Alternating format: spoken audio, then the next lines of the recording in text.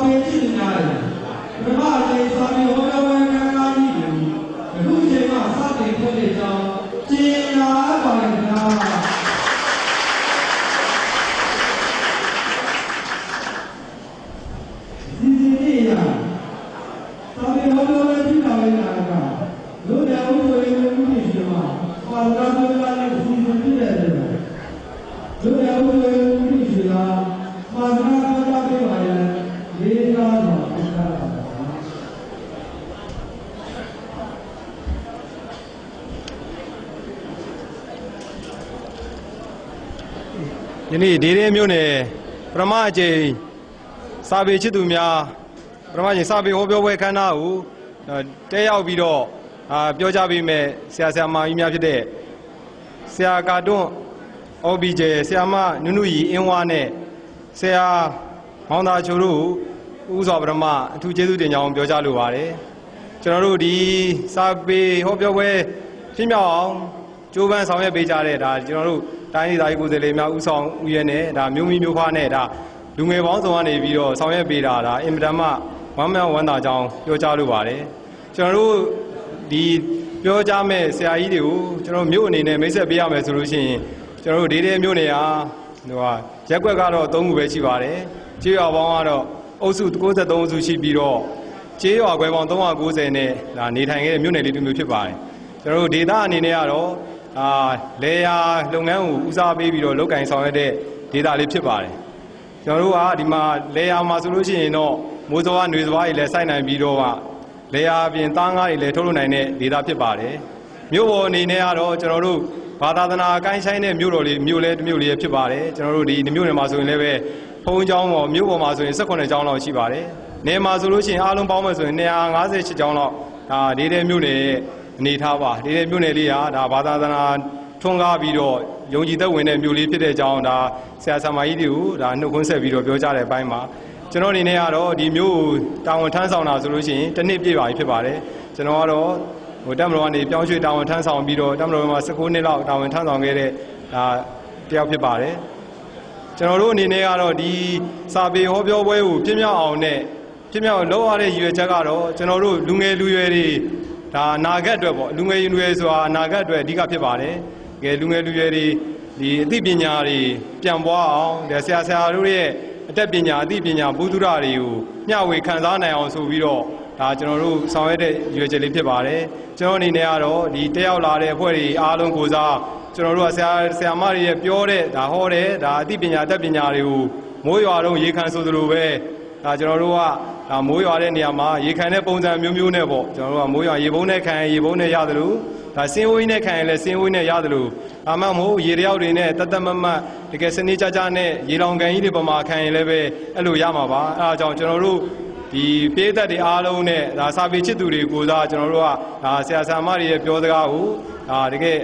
ဒီမိုးရေခံတတ်တဲ့ပမာပေါ့အများကြီးရအောင်နဲ့ခံသွားကြပါလို့ကျွန်တော်ပေးသက်တွေပြောကြရင်းနဲ့ပဲကျွန်တော်အစီအရင်လေးကိုနှုတ်ကုန်းချုပ်ပါတယ်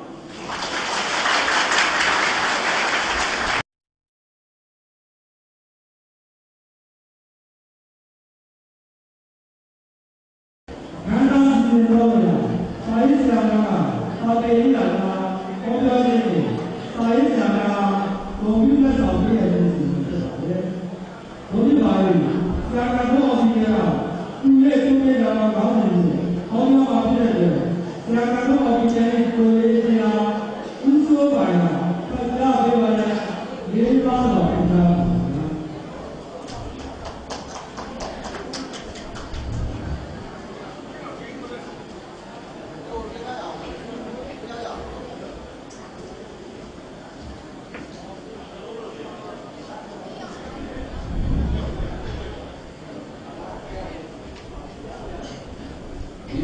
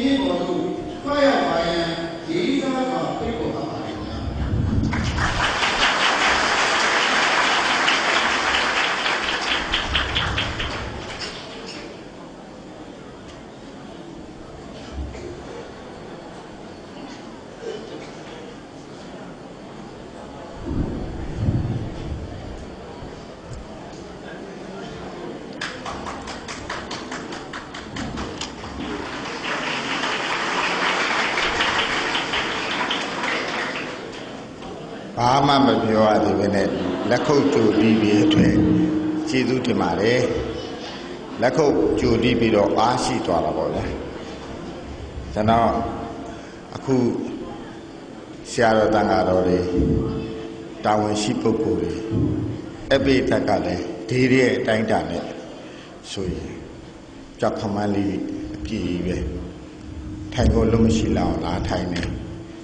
တိတ်ကျေးဇူးတင်ပါတယ် ဆရာတော်တို့ထဲရဆိုရင်တောင်မွေးနဲ့ဆရာတော်ကြီးတောင်တွေ့ရတယ်အမတန်ကိုကြည်နူးပီတိဖြစ်မိပါတယ်တာဝန်ရှိပုဂ္ဂိုလ်များစွာတာဝန်ရှိတာတော့ဒီခန်းထဲလူအားလုံးတာဝန်ရှိပါတယ်အခုတာဝန်ရတော့ဘယ်သူမှပူတယ်ရော့တယ်မရှိပါဘူးဒါပေမဲ့ဒီဒေတာလောလောဆယ်အုပ်ချုပ်ရေးမှာတာဝန်ယူနေတဲ့ပုဂ္ဂိုလ်များလဲ တကူးတကလာနားထောင်တဲ့အတွက်ကျေးဇူးသိတင်ပါတယ်ဘာလို့လဲဆိုတော့ကျွန်တော်ဟောမဲ့ကောင်းစင်ကကူရီတွန်းပေးကြပါဆိုတာကူရီတွန်းအောင်မှာဟိုးအောက်ဆုံးကလေးလေးရစဆရာတော်တန်ဃာတော်များအပါအဝင်ဒီအုပ်ချုပ်ရေးမှာတာဝန်ရှိတဲ့လူတွေစစ်ဖက်မှာတာဝန်ရှိတဲ့လူတွေကျွန်တော်တို့အခုဒီအခမ်းအနားမှာတက်ရောက်နေတဲ့လူတွေမတက်ရောက်ဘဲနဲ့အိမ်မှာရှိနေတဲ့လူတွေအားလုံးတာဝန်ရှိပြီးတော့အားလုံးကူတွန်းပေးရမယ်ဟာမလို့ တိတ်ပြီးတော့ဒီလိုခုလိုတကူးတကလာတာကိုကျေးဇူးတအားတင်ပါတယ်ကျွန်တော်တို့လည်းနောက်ပထမဆုံးအချိန်ဆိုတာနာဂေပြီးမှပထမဆုံးအချိန်ဆိုတော့ဘာပဲဖြစ်ဖြစ်ပြန်လဲပြီးတော့ထူထောင်လာပြီပြန်လဲထူထောင်ခြင်းပေါ့ဗျာနာဂေကတော့ဒီတွေကတော့အသေးချာမိတာပေါ့နာဂေကမိတော့ကျွန်တော်တို့က ရှင်းပြောရင်တော့ဗျာဒုက္ခတွေတော့အများကြီးပေါ့ဒီဒုက္ခတွေအများကြီးရနေပြီးတော့အခါတည်းလို့လည်းခံလိုက်ရမှာတွေးပြီးတော့နောက်တစ်ခါဒီလိုမဖြစ်အောင်ဆိုတော့စိတ်နဲ့ကျွန်တော်တို့ပြန်ပြီးတော့ထူထောင်အောင်မှာထူထောင်တော့ရိုးရိုးထူထောင်မှာမဟုတ်ဘူးကိုယ့်ဟာကိုယ်ထိုက်အောင်လေထူထောင်မှာမဟုတ်ဘူးကျွန်တော်တို့ကျွန်တော်အခုပြောမယ့်ဟာက ကျွန်တော်တို့ကတကယ်တော့လောကကြီးကအင်္ဂလိပ်လိုဆို survival ခေါ်တာပေါ့ကျွန်တော်တို့ရှင်တန်မှုဟာလောကယာတိဥရုဖောက်ပြန်မှုနဲ့လည်းကျွန်တော်ပြန်ရတယ်အခြားနိုင်ငံကလူတွေနဲ့လည်းပြန်ရတယ်ခြားလူနိုင်ငံကဉာဏ်ပညာနဲ့ပြန်ရတယ်အဲ့လို survive ကျွန်တော်တို့ရှင်တန်အောင်မရက်တည်နိုင်ရင် နည်းနည်းဥဥဥဥဖြစ်နေကျွန်တော်လည်းဥဥဖြစ်အဲရပါတယ်နော် object ဆိုနည်းနည်းကျဲပါတယ်အဲ့တော့ကျွန်တော်တို့အဲ့လိုရှင်းတန်အောင်ဘလို့ဝိုင်းတွန်ကြမလဲဆိုတဲ့အကြောင်းပြောချင်တာအဲ့တော့အခုဒီတွေကလူငယ်တွေပြန်ပြီးတော့ဥစီပြီးလောက်ကြတယ်ဆိုတော့ပထမဆုံးနာဖြစ်တာပါ အင်မတန်တော်ပါတယ်ဟိုစီလာတဲ့ကာစတော်တော်အဆင်ပြေပါတယ်အဲအကွန်နဲ့တွန်လေးသိမ့်တာရောဟင်းသရထုံရောဖွင့်ပြီးတော့ကျွန်တော်တို့လာခဲ့ပါတယ်ကျွန်တော်လည်းအိမ်မှာနားထောင်လို့မရဘူးဗျအိမ်မှာဟင်းသရထုံရင်တို့တွန်လေးသိမ့်ရလို့ကျွန်တော်ဖွင့်လို့ရတော့ကျွန်တော်ဟိုဘက်နားလေးမြင်းသားလေးလှည့်လိုက်တာနဲ့ကျွန်တော်သားသမီးများပိတ်လိုက်ပြီး မကြိုက်ဘူးပြောရတယ်ပို့ဆိုတယ်အဖေဘာကြီးမှလည်းမသိဘူးဆိုတော့တော်တော်ဆိုတယ်နော်ကျွန်တော်လည်းအဲ့ဘာကြီးမှမသိတာလေဥကကျွန်တော်တို့ကကြိုက်နေတာအဲ့တော့နောက်ပြီးတော့သူတို့စနစ်လဲကြဆရာတဲ့တဏှာကြီးဗဒနာကြီးဟောမှလေတဲ့ကျွန်တော်ဟောပြောဝဲပေါင်းရာချီပါပြီဗဒနာကြီးဟောမှလေလို့မိတာဒါပထမဆုံးချိန်မှာကောင်းလိုက်တာတကယ်ကောင်းတယ်ကျွန်တော်ကိုယ်တိုင်လည်းနိုင် ကျွန်တော်အခုပဲငှားလာတာဒီလားအောက်ကတယောက်စီကကျွန်တော်ငှားအောက်ကလည်းကျွန်တော်ဟောပြောဝဲတင်ဒါကြီးကကျွန်တော်အိမ်မှာအစုပ်ကလေးတစ်လုံးရှိပါတယ်ဒါပေမဲ့ကျွန်တော်လက်ပတ်နိုင်ရားလို့မပတ်ဘူးရအဲရောက်ရင်တော့လက်ပတ်နိုင်ရပြအခုခက်ကတော့လက်ပတ်နိုင်ကြီးတို့ TV တို့ကက်ဆက်တို့ပါဆိုတော့အိမ်တိုင်းမှာရှိရဟိုးခက်ကမရှိဘူးပေါ့အဲ့တော့ဘသူစီကငှားငှားငှားလို့ရတော့ငှားလိုက်တော့အခု9နာရီထိုးဖို့9မိနစ်ပေါ့နော်ထားပါတော့ဗျာ9နာရီပဲထားပါတော့ကျွန်တော် အလွန်ဆုံး7နာရီခွဲအထိပေါ့နော်ကျွန်တော်အဲ့ဒါအဲ့ဒီအဲ့ဒီဟောအလွန်ဆုံးပြောတာပါမနေ့7နာရီခွဲပေါ့နောက်တစ်ခုကကျွန်တော်တို့လေအခုဒီမှာကျွန်တော်ဒီမှာရိုက်နေတော့ကျွန်တော်ကြည့်ဆရာကြီးရေအခုဒီမှာငကြက်ကြီးနဲ့ဒီလားသေချာနားထောင်ရိုက်လာတော်တော်ကောင်းတယ်ကြီးဗျ အရင်တော့ကကျွန်တော်ကျွန်တော်မှတ်မိပါတယ်60နှစ်လောက်ကစ61 60နှစ်လောက်ကကျွန်တော်ဟောပြောတယ်အဲ့တုန်းကတိတ်ခွေနဲ့တိတ်ခွေကျွန်တော်ကိုပေးတဲ့လူလည်းရှိပေါ့မပေးတဲ့လူလည်းရှိအခုတော့ကျွန်တော်အဲ့ဒါကြီးရှိတော့ဘူးမန္တလေးဓမ္မတာရလို့မန္တလေးစိတ်တက်ကလို့ဟောတော့အဲ့ဒီဟောတဲ့ဟာတွေအခုတိတ်ခွေလည်းဖွင့်ရဆက်လည်းမရှိတော့ဘူးအဲ့ဒီတိတ်ခွေတွေလည်းမှုတွေတက်ပြီးပျောက်ကုန်တယ်အခုခေတ်ကျလွယ်တယ်ဗျ ဒီအခုရိုက်မနေ့ဖြန်မနေ့ကျွန်တော်ပြန်ရင်ပေးလိုက်မှာကျွန်တော်သိတယ်ဟုတ်တယ်မလားမြို့တော်တော်များများပေးလိုက်တယ်လေတိတ်သဘောကျအားလုံးပြက်နှံ့လိုက်တာအားလုံးကိုတော်တော်များများကနားထောင်ပြီနားထောင်ပြီးတော့တချို့ဆရာများတော့ဒုက္ခရောက်တော့ပေါ့ပြောပြီးသားတွေဆရာပြန်မပြောပါနဲ့တော့တယ်မတတ်နိုင်ဘူးကျွန်တော်တို့လေ သိတာကွာကျွန်တော်ဆိုရင်တော့ဆရာမဒေါ်နုနုရတော့ဆရာမကျွန်တော်တို့မနုခေါ်တာပေါ့ဆရာမဆိုရင်တော့ဘုဟုသုတကျော်ကတော့တနည်းအားတစ်မျိုးမရိုးရအောင်ပြောနိုင်မယ်ကျွန်တော်ကတော့ဓာတ်ပြားဟောင်းကြီးပဲပြန်ဖွင့်တယ်နော်ကောင်းဆိုကျွန်တော်တို့အလုတ်အားရှုပ်ပါလေဆောစောကကျွန်တော်ကိုရေးရတယ်ဖတ်တယ်လို့ပဲတဘာဝပတ်ဝန်းကျင်ထိမ့်သိမ်းရေးလဲကျွန်တော်ပရိဒတ်သဘောလောက်ပါတယ်ပရိဒတ်ဆိုတော့ကျွန်တော်က ပရိဒတ်ဆိုတော့ဒီကအခုလူငယ်များလို့လေကွင်းနေတဲ့ဆင်းစိုက်ကွင်းနေတဲ့ဆင်းပြီးလောက်တာမဟုတ်ပါဘူးကျွန်တော်တဘာဝပတ်ဝန်းကျင်ထိမ့်သိမ်းရေးကိုအိမ်မှာငုတ်တုတ်ကြီးရှွတ်တစ်စက်မှမပြီးပဲလောက်ပါတယ်ကာတွန်းဆွဲပါတယ်အဲ့ဒါလေးကျွန်တော်နိုင်ငံတကာစာအုပ်တွေဖတ်တယ်အင်တာနက်ကိုဖတ်တယ်ကျွန်တော်ဒီတည်တင်တည်တိုက်တဲ့ဟာဟုတ်တယ်ကိုကိုယ်တိုင်ကတော့မြဲတဲ့ပင်တောင်မဆိုင်ဘူးပါဘူးတော်တော်အားကိုးဖို့ကောင်းပါတယ်ဒါပေမဲ့ကျွန်တော်ကစိုက်ကြတယ်စိုက်ကြတယ်ဆိုရင် လူတွေကတော့တပင်ဆိုင်ပွဲရှိတယ်ဆိုစိုက်ကြတာပေါ့ကျွန်တော်သိတယ်သူတို့ကင်နေတွဲနေပုံကအော်လို့သူတို့လုတ်ပုံလဲတော့တပင်တွေသေတော့မှာပဲပလတ်စတစ်မခွာပဲစိုက်လိုက်တယ်လို့ကရှိသေးတယ်နော်စိုက်ပြီးရင်မြေတိတ်ရမှာလားဘယ်ဘက်ကိုထားရမှာလဲစိုက်စိုက်စိုက်ဆိုအတင်းထိုးတိတ်စိုက်နော်ကျွန်တော် INGO ပေါ့ International NGO စီပိုင်းမှာလဲကျွန်တော် အကြံပေးပုဂ္ဂိုလ်လုပ်ဖူးပါတယ်ကျွန်တော်ဒါမစိုက်ဖူးပဲမဲ့ဘယ်လိုစိုက်တင်နေဆိုတော့ကျွန်တော်မေးရအဲ့ဒီခါမှာအော်တက်ချမ်းနားတယ်လေလို့ကတစ်ပင်တစ်ပင်စိုက်မယ်ဆိုရင်ဘယ်လိုစိုက်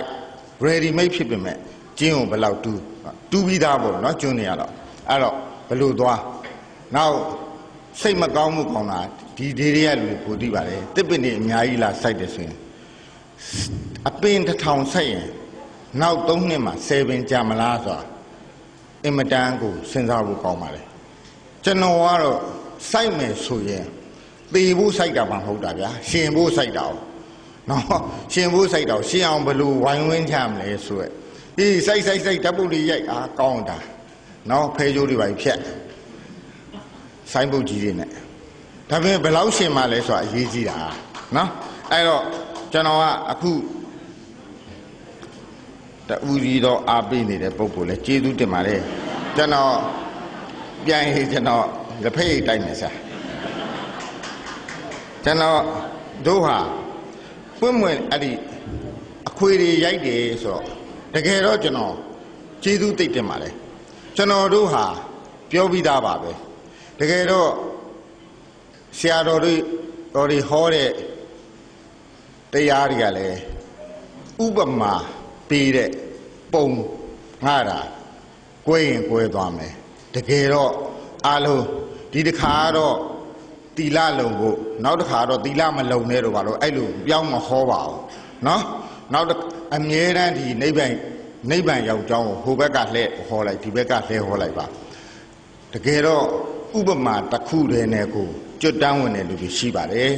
ကျွန်တော်တို့ကလိုက်ဟောနေတယ် ဆရာတို့ဟောတာတွေသိကောင်းတာပဲတဲ့ကျွန်တော်ကျေးဇူးတင်လိုက်တာဆိုပါတော့ဗျာဥပမာစာဖတ်ပါပဲဟာ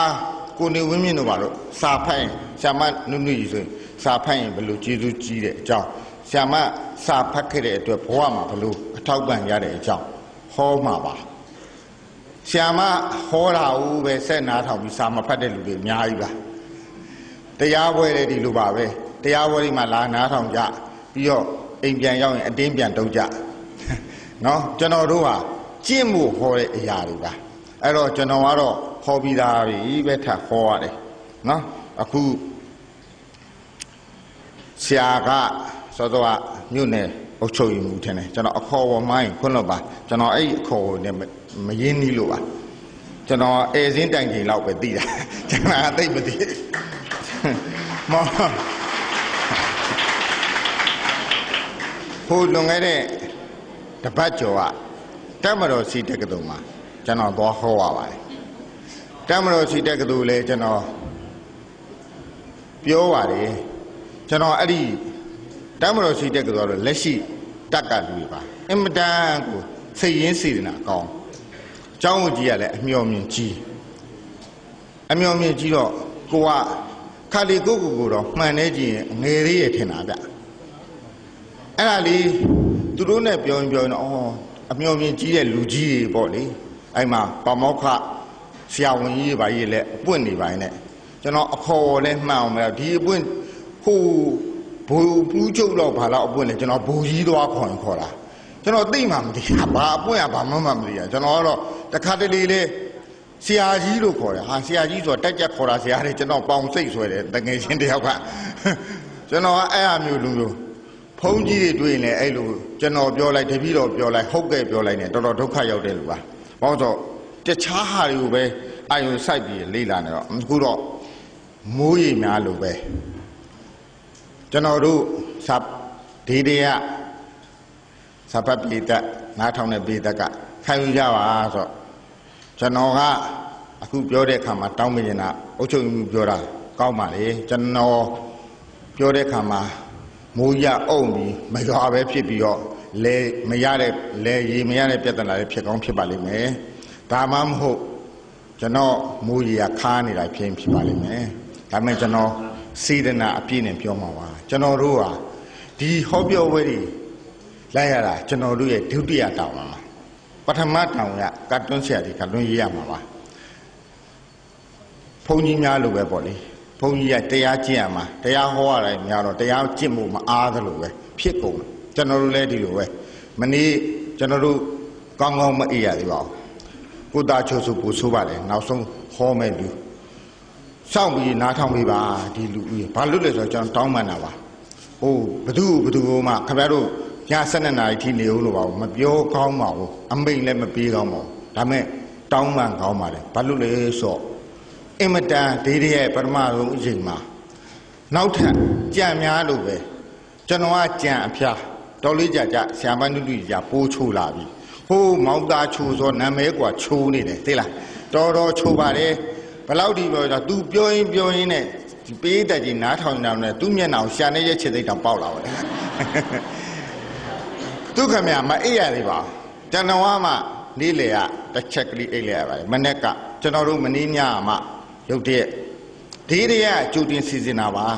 ဒီတွေကတနင်္ဂနွေနေ့လှုပ်ချင်တယ်ဆိုပြီးလွန်ခဲ့တဲ့2လလောက်တည်းဆက်သွယ်ပါတယ်အဲ့ဒီမှာပေါင်းတယ်ကလူငယ်များလေပေါင်းတယ်လေဒီနေ့လူငယ်တွေပါလေကျွန်တော်တို့လှုပ်ချင်လို့ပါတဲ့ဆရာတို့ဘယ်နေ့ဆိုကျွန်တော်တို့ဒီစနေတင်နေမှာအာဘူးတနင်္ဂနွေမှာဒီတွေသွားမှာဆရာကျွန်တော်တို့ပေါင်းတယ်မှာလုပ်ပါမယ်စနေနေ့ညလုပ်ပါမယ်မနေ့မိုးလင်းတာနဲ့ညာကိုဒေဒီရလူတွေလာရင် အစင်သင်းပြောင်ကျွန်တော်ပြန်ပို့ပေးပါမယ်ဆိုလို့သူတို့ကတော့ကားစီလုံးငှားပြီးပို့တာပေါ့ဗျာကျွန်တော်တို့ကငုတ်တုတ်ကြီးလဲရတာဗျငုတ်တုတ်ကြီးတော့ငုတ်တုတ်ကြီးလိုက်မတ်တက်ကြီးဟောတဒုက္ခတွေကိုရောက်လို့သိလားမအိပ်ရဘူးပေါ့ဗျာအိပ်ရဖို့မှာဟောရရင်တော့ကောင်းတာအဲ့တော့အခုအခုကျွန်တော်တောင်ပြောမြောက်ပြောပြောရင်းနဲ့ရှင်းတာကြီးခွဲသွားပါပြီကျေးဇူးတင်ပါတယ်အဲ့တော့ အခုကျွန်တော်စာပေဟောပြောပဲစိတ်မောတက်ခံပြီးတော့ဒီတည်းကစာပေဟောပြောပဲကျင်းပါရေးကော်မတီတွေကအဖွဲ့ဝင်တို့ကပြောပါတယ်ဆရာတဲ့ကျွန်တော်တို့မြို့လေးရဲ့ဝေဒနာလေးတွေလည်းဆရာထည့်ပြောပြပါဦးတဲ့ဘာဝေဒနာလဲဆိုတော့ နံပါတ်1လမ်းမကောင်းဘူး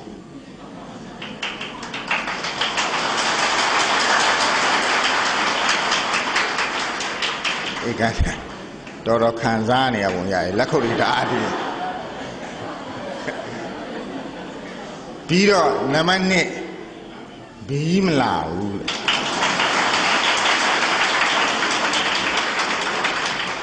အခုအခုအခုလာပါပဲတဲ့ မီးဆက်ချစ်လိုက်မဲ့ထင်ပါတယ်တော့ဆိုကျွန်တော်တို့လည်းဆက်စစ်မီးများကျွန်တော်တို့ကပြက်တက်တဲ့အရာလို့ကျွန်တော်ထင်နေတယ်။ဘောက်စောပြက်နေကြဘူး။လမ်းဆိုလေခင်ဗျအပေါက်ကလေးတစ်ပေါက်နှစ်ပေါက်လားဗျာ။အပေါက်ကလေးတစ်ပေါက်နှစ်ပေါက်ပြောပြောဒီလိုတရား200ကိုပြောတာမဟုတ်ဘူး။ အပေါက်ကလေးတစ်ပေါက်လောက်လောက်တွေ့ရင်ကိုဩဒါလေးကတော့ပေါက်ရှာမှာပဲသင်္ခါရဘူးထင်နေတာ။အဲ့တော့ဆရာရဲ့လို့ကျွန်တော်ပြောလိုက်ပါတယ်။ဒီဒီရဲ့ဆိုပြီးတော့ထုမပြောပါနဲ့လို့လမ်းမကောင်းတာရဲ့မီးမလာတာရဲ့ဗမာတပြည်လုံးမှာ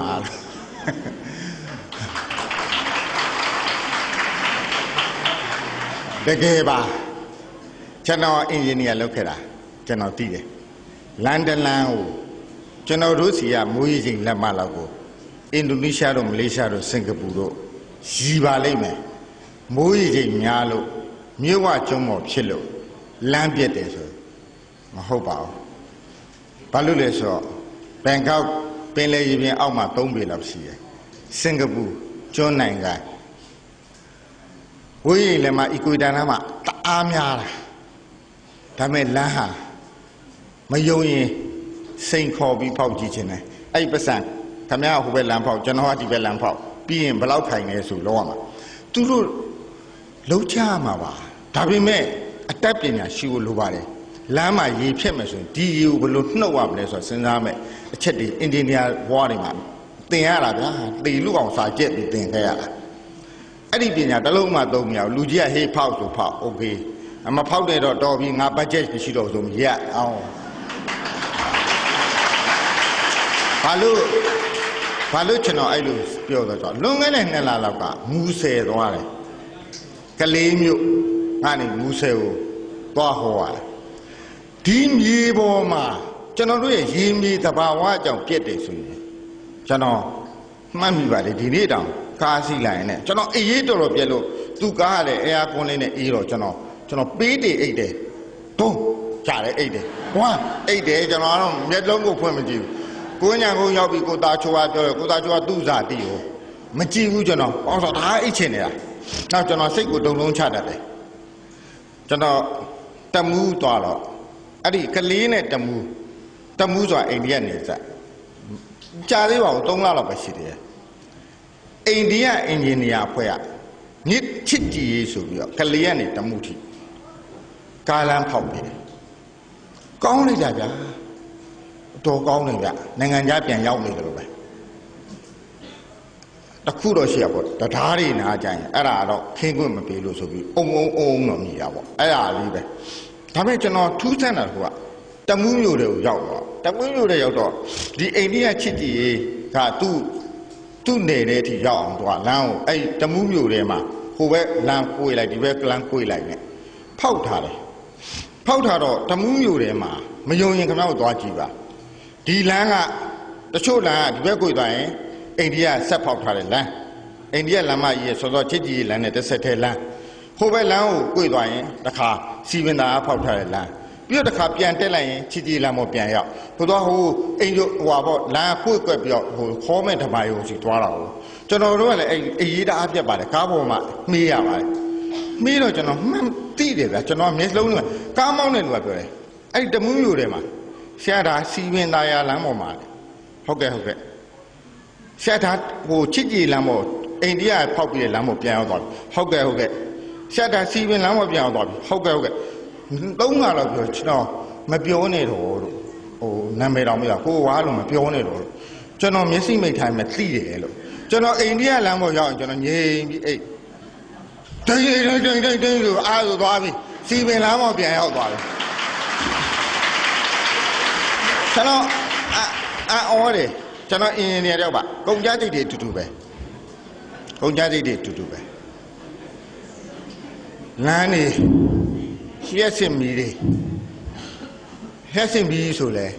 ကျွန်တော်တို့မဲ့လည်းတောသားတွေဗျခင်ဗျားတို့အတူတူပဲကျွန်တော်တို့စင်ကာပူဟောပြောပဲသွားတော့ဒီလားကျွန်တော်တို့လေကျွန်တော်မိန်းမဒီလား ညာရင်ညာတာပေါ့ဗျာဒီလိုမွေပါကင်းမတော့အပြင်ညာဘက်ဆိုအိမ်နာလေးပါလေးသွားရတာပေါ့မွေပါကင်းမကြောက်ရလို့စင်ကာပူသွားတော့လက်နေတယ်မီလေးထည့်ပေးလိုက်တယ်သိလားညာဘက်ပေါ့မီးပြက်မှာဆိုလို့ကျွန်တော်ဟဲမိတ်ကြီးကလေလက်နေတယ်မီးထွက်လာတော့လေအဲ့စင်ကာပူကဟောပြောဝဲကျင်းပါလို့လားဆရာအဲ့ဒါဘာကြီးတော့လဲလက်နေတယ်မီးလေလို့ဆရာဘာလို့ယူရလဲ ဟီးလို့ဟိုဟာပေါ့ဗျာလို့ဟိုအချိန်လေးလေးပါလေမီးလေးပါလေးပြည့်လာဆရာလေးတဲ့မပြည့်ပါဘူးကွာဟောပြက်ခဲ့သည်ရှိတော့ပေါ့ဗျာလို့ကျွန်တော်တို့ကဒီဒေတာမှာကျွမ်းတော့လက်နေတဲ့မီလေးထိုးငွေပါကင်းမနဲ့တော့ကြဝင်တိုက်ပြီးတော့ရှက်ဆရာကောင်းတယ်လို့ပန်းဦးတွေပါကြပွဲဘယ်လိုလုပ်မလဲဆရာတဲ့ကျွန်တော်တို့ဒီမှာရောက်တာအနှစ်20ရှိပြီတဲ့တခါမှမပြက်ဘူးပဲကျွန်တော်လေးလေ ရှက်ရှက်နဲ့ဟုတ်လားလို့သိလားတယ်လီဖုန်းဆိုရင်လည်းကျွန်တော်တို့ကရည်ရသေးလားဒီမှာကျွန်တော်တယ်လီဖုန်းကျွန်တော်ကနည်းနည်းပါတယ်ဗျသိလားမယူခဲ့ဘူးဒီနားရောက်ငါဆက်မရတော့ဘူးဆိုတာကိုသားချိုကတော့ကံကောင်းသွားတယ်အခုကျွန်တော်တို့ကတရားထိန်တာဆိုတော့ဆက်လို့နည်းနည်းရတယ်သူဟိုရေးလဲကောင်းမှကိုဖော့ပြီးသွားစိတ်ပိုရလိမ့်မယ်ထင်တယ်သိလားကျွန်တော်တို့ကြတော့ခမရနိုင်ငံခြားရောက်လို့များလေမြ န်မာတွေအပြန်စားကုတ်အင်းကြီးနဲ့နက်ကတိုင်ကြီးနဲ့တွေ့ဘာမှမပူနဲ့ဒီတွေကမိတ်ဆွေများတယ်လီဖုန်းអော်ပြောနေအဲ့ဒါဗမာပဲ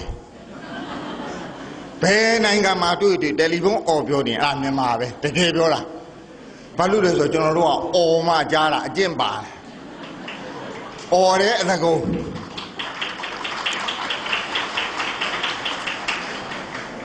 အဲ့လိုအကျင့်ကပါနေတာတခါတလေကျွန်တော်ဒီရဲမလို့ပြောအောင်ပေါ့ဗျာကျွန်တော်ရန်ကုန်မှာနေလဲကျွန်တော်ကြည်ရဲဆန်ကအိမ်မှာနေမမိဘူးဗျအိမ်မှာနေလို့ကျွန်တော်များတရားကဖုံးစိတ်ရင်ဆ iam မတော့နုနုရပဲဆက်ဆက်လူကြီးမင်းဆက်တော့တယ်လီဖုန်းဒီဆက်သွယ်ရေးဧရိယာပြင်ပသို့ရောက်ရှိနေပါသဖြင့်နော်ဆက်သွယ်ရေးမရပါရှင်းဆို အဲ့ဒါဆိုရင်ဆ iam မအကင်းမပါလို့တခါလေသွားတယ်ကောပြရှင်းပေသွားနေရလေတဲ့ဆက်ရမဟုတ်ဘူးကျွန်တော်အိမ်မှာပဲကျွန်တော်အိမ်မှာနေရင်ဆက်သွယ်ရေးဧရိယာပြင်ပအလိုလိုရောက်သွားအပြင်ထွက်လိုက်ရင်ကျွန်တော်ဆက်သွယ်လို့ရသွားကျွန်တော်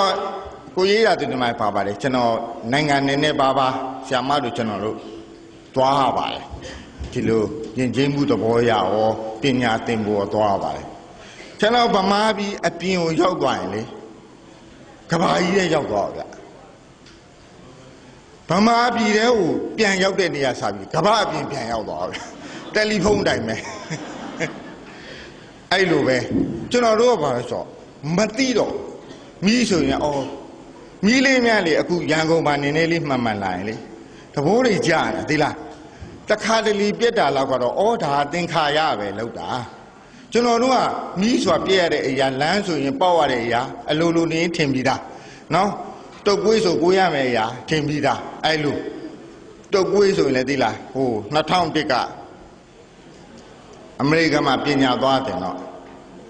တုတ်ကွေးကာကွယ်သေးတယ်အခုတော့ပေါ်ယူရကျွန်တော်2001တော့မကြဘူးတည်းတုတ်ကွေးကတော့ဒီကြောင်းမတိုင်းထိုးရမယ်တဲ့အခု flu season ပေါ့တုတ်ကွေးရာဒီရောက်လာပြီတဲ့လာထိုးပါဆို မမပြီးပြီပဲအလကားထိုးလို့ရတော့သွားထိုးတော့ပေါ့ဗျာသွားထိုးဒါပေမဲ့ကျွန်တော်ကတောသားဆိုဗျာအဲ့ဖိလစ်ပင်းက PhD ဒေါက်တာတက်နေကောင်မေးဟဲ့အောင်လို့တုတ်ကွေးဆိုခွာလို့ကာခွေကြီးထိုးရပါဘူးလို့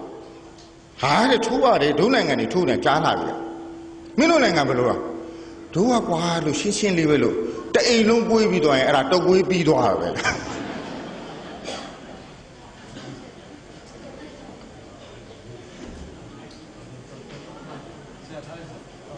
ထားလာကြကြပြီအပေါက်ချင်တာရေးချင်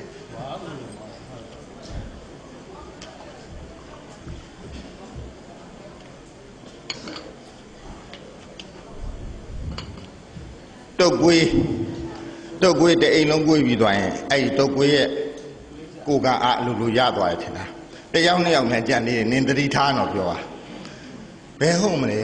တုတ်ကွေးဆိုတာအဲ့လိုတုတ်ကွေးကိုကြီးနဲ့တည်သွားတဲ့မသားလဲရှိကောင်းရှိအောင်ပါ ကျွန်တော်တို့ကမသိဘူးလောကမှာဟို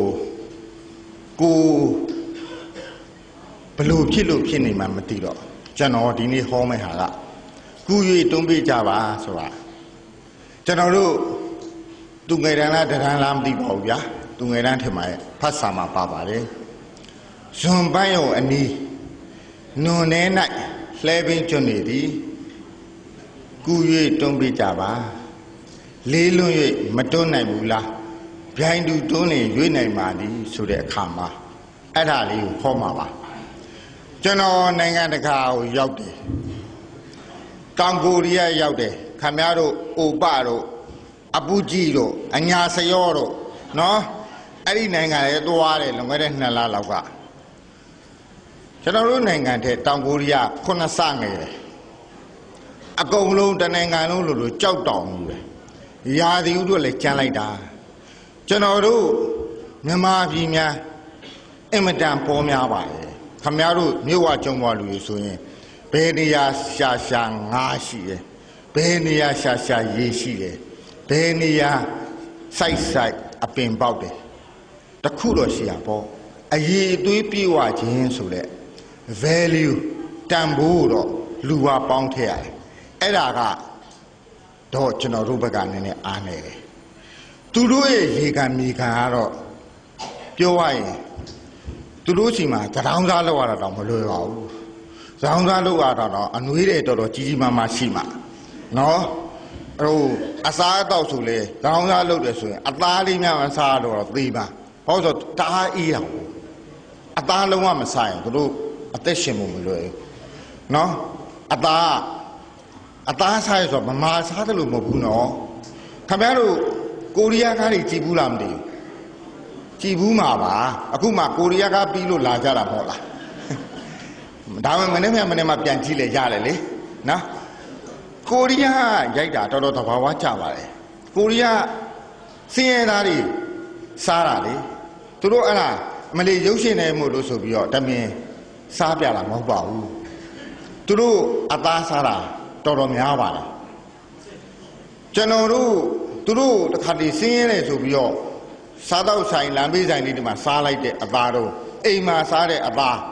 ကိုရီးယားကခင်ဗျားတို့ကြည်ဘူးမှာပါအားစီစားနေရပဲအဲ့ဒီစားတဲ့အစားအစာလေးကျွန်တော်ကြည့်တယ်သိလားသူတို့စားတဲ့အသားကလေစင်းရဲသားတော့စားနေတဲ့အသားတော့ကလေကျွန်တော်တို့မိသားစု9ယောက်3ရက်စားလို့ရတယ် ကျွန်တော်တို့ကအစားအသောက်ကအရည်အသွေးညက်ကျွန်တော်တို့ကအစားအသောက်ကလည်းဖြစ်တယ်လို့လေငပိရည်တွေနဲ့ရတယ်တို့မြန်မာပြည်ကငတ်တည်တယ်မသားမရှိဘူးဟုတ်တယ်ကျွန်တော်ကအမြဲတမ်းပြောပါတယ်တို့ဗမာပြည်မှာထမင်းငတ်မတည်ဘူးလို့ဟင်းငတ်တည်တာလို့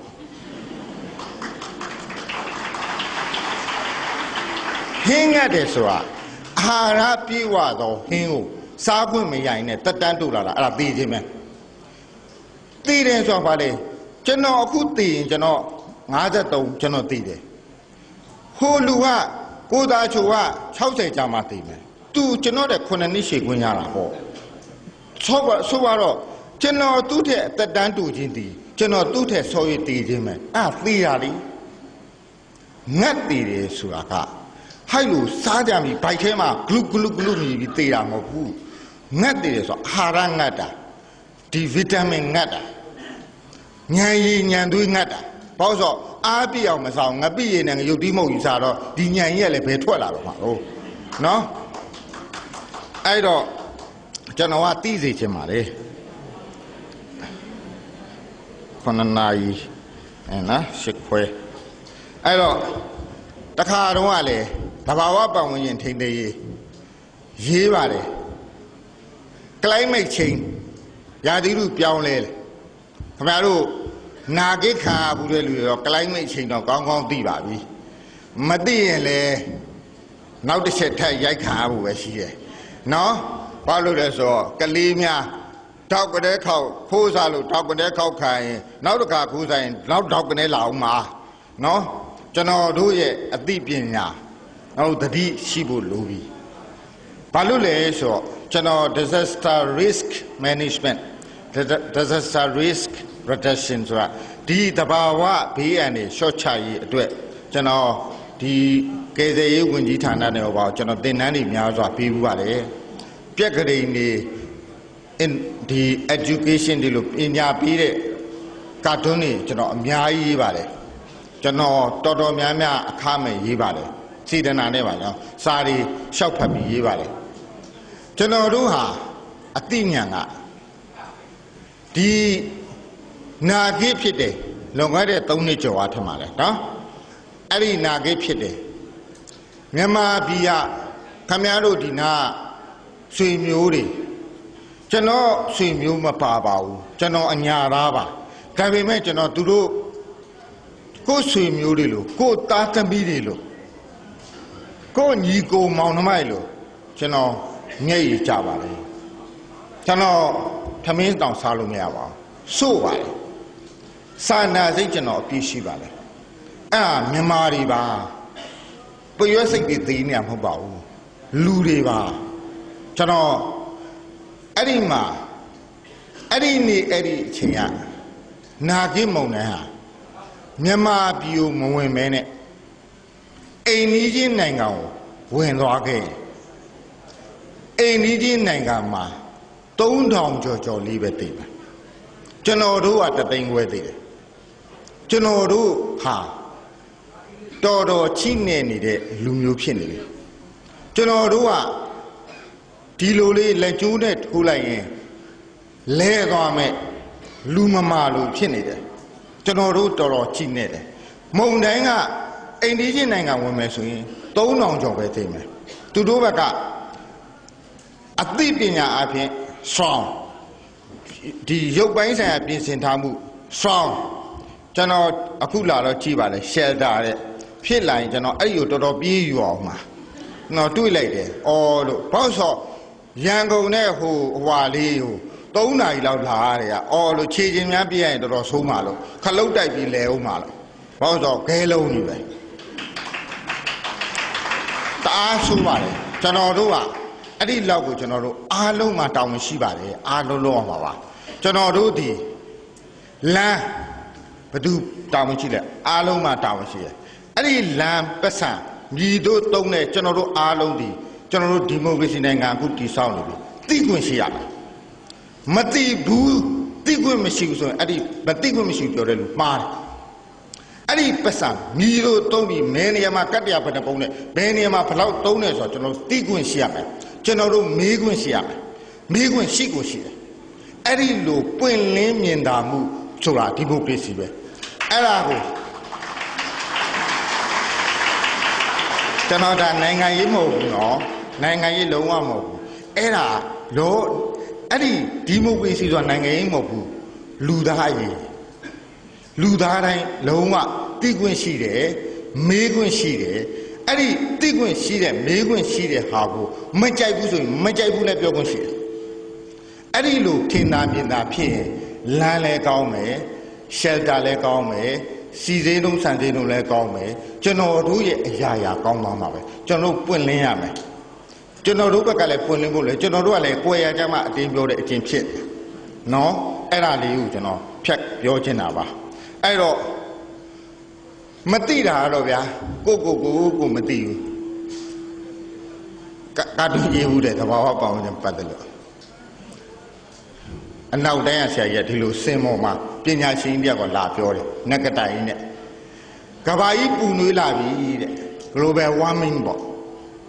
အောက်ကကျွန်တော်တို့ဒီလိုအညာပေါ့ဗျာခေါင်းပေါင်းလေးပါလေးနဲ့အဆိုးလေးနဲ့ကွင်းတိုင်းတာကြည့်တော့ကောင်းတော့ပေါ့ဆရာကြီးရတဲ့စင်မော်မောကြည့်ပြောအနွေးတယ်မလို့တော့ဘူး ကဘာကြီးပူနွေးလာတယ်ဆိုအနွေးတယ်မလို့တော့ပြောမဟုတ်ဘူးတဲ့ climate change သဘောတည်းရဒါမှမဟုတ်ကဘာကြီးတစ်ခုလုံးကရေခဲပြင်လည်းဖြစ်သွားနိုင်တယ်ဟုတ်တယ်အဲ့တော့ရေခဲပြင်လည်းဖြစ်သွားနိုင်တယ်ဆိုတော့အဲ့စောစောနေရာကထားတယ်ကောင်းတော့ဘုရားကြီးအားတဲ့ရေခဲရေဝယ်တော့ချမလို့တော့ပဲဟာအဲ့လိုလည်းမဟုတ်နိုင်သေးဘူးတဲ့ဒါမှမဟုတ် ကဘာကြီးတစ်ခုလုံးသက်ကနာယာကြီးဂန္ဓာယာကြီးလည်းဖြစ်သွားနိုင်တယ် climate change ကကျွန်တော်တို့အခုထိသိမသိကြသေးဘူးဂန္ဓာယာကြီးဖြစ်သွားမယ်လုံးဝကွင်းမြင့်ကြီးဖြစ်သွားမယ်တစ်ပင်လည်းမရှိဘာမှမရှိတော့ကောင်းတော့ဘုရားကြီးအားတဲ့ကျွန်တော်တို့ဘောလုံးကွင်းနေမရှိရနဲ့တော်ပဲအဲ့ဒါနဲ့အပေါ်ကဆရာကြီးကပြောတယ်ခင်ဗျားတို့ဘယ်နိုင်ငံကလဲရင်တဲ့ကျွန်တော်တို့ကကိုယ်နိုင်ငံဆောတော့တယ်လီဖုန်းလို့ပေါ့ဗျာ ကိုယ်အိမ်ကိုရောက်ရင်ကဘာကြီးအပြင်ဘက်ဆက်သွယ်ရေးဧရိယာအပြင်ဘက်ရောက်အိမ်အပြင်ဘက်လန်းလန်းလန်းထွက်လို့ရှိရင်အဲ့ဒါဆက်သွယ်ရေးဧရိယာတွေရောက်ကျွန်တော်ငါပြီးအပြင်မင်္ဂလာလုံးလေးသိကထွက်လို့ဒီအိမ်ကြီးချင်းဘယ်နိုင်ငံရဲ့လေစိတ်ကိုရောက်ရောက်တကယ်ကိုကဘာကြီးတွေရောက်သွားတာအကုန်လုံး open အကုန်လုံးပွင့်လင်းအကုန်လုံးမြင်သာအကုန်လုံးမပြုံးဘူးပြုံးရမယ်လို့မပြုံးရင် complaint တက်ခွင့်ရှိတယ် ပြုံးရမှာလေမင်းတောင်ကပြုံးရမှာလေ NASMA ပြောရမှာလေဆရာဝန်ကပြောရမှာလေလေစိတ်ကကောင်ပြောရမှာလေတခုတော့ရှိရပါဗျာမြန်မာဆိုရင်တော့ပြုံးမပြမြန်မာကြတော့ဟောက်ပြတယ်ကျွန်တော်အဲ့တော့ကျွန်တော်တို့မြန်မာလူမျိုးများတနာဖို့ကောင်းကျွန်တော်လေမြန်မာချစ်တယ်ဗျဘောလုံးမဲရှိလေကျွန်တော်အမှတ်မရှိဘူးဗျသိလား ဘောလုံးမဲမြန်မာအသင်းနဲ့တခြားအသင်းကန်တော့ကျွန်တော် TV ရှိမှငုတ်တုတ်ကြီးမိမလည်းပြောတယ်ရှင်ရှင်အမှတ်မရှိဘူးနော်တဲ့ပြီးတော့မှပြေးတောက်ပြေးတောက်ပြောဦးမယ်တဲ့ဟာလို့ဒီတစ်ခုကတော့ပရိုဖြစ်သွားပြီလို့နိုင်ငံတကာနီးပြတွေပါလေနဲ့အခုကလေ့ကျင့်ပြီအရင်ခေတ်မဟုတ်တော့ဘူးလို့ဒီအခုဒီမိုကရေစီဒီဘက်ပြောင်းသွားပြီဒီပရိုဖြစ်သွားပြီလို့တို့အရင်လောက်တော့မရှုံတော့တော့ပါဘူးဟုတ်တယ်ဗျာသိလား မိမမဲအမှတ်မရှိကျွန်တော်တို့ရင်နှူးခွက်ကြီးချပြီးထိုင်တော့တာဗျ၄နိုင်လောက်ဆိုရင်နှူးခွက်ပဲဖြစ်သေးတာပေါ့ဗျာအဲ့တော့ရင်မလုံးနဲ့အဲ့ဒါတော့လက်ခုပ်မတီးနဲ့မိမအတိပိုင်းမကောင်းဘူးအဲ့တော့ပထမပိုင်းပြီးတော့ VNN နဲ့ကန်တာ1စီးတဲ့လွန်ခဲ့တဲ့၄၅6လမိမရှင်ရှုံးပြီမလားတလုံးလောက်ကတော့မိမရာလို့တို့ကပရိုပြောင်းသွားပြီလို့အေးစစ်စစ်ပြန်ပြီးတော့ တို့ဘာအချက်မှားရခံစစ်ကဘယ်လိုဘယ်တွေတောင်းမှာဘယ်လိုပြန်ပြောပြီးတော့ပြန်ချေမှာပေါ့တယ်သိလားကျွန်တော်ပြောရတာတကယ်ပြောခဲ့တာကျွန်တော်6နာရီထိုးကနေဘောလုံးပွဲလဲပြီးကနေရောကျွန်တော်ချင်းတော်ကြီးချပြီးကျွန်တော်လည်းငုတ်တုတ်ကြီးသွားထိုင်နေရတယ်မျက်နာပူလို့ရှစ်ကိုတကူလေ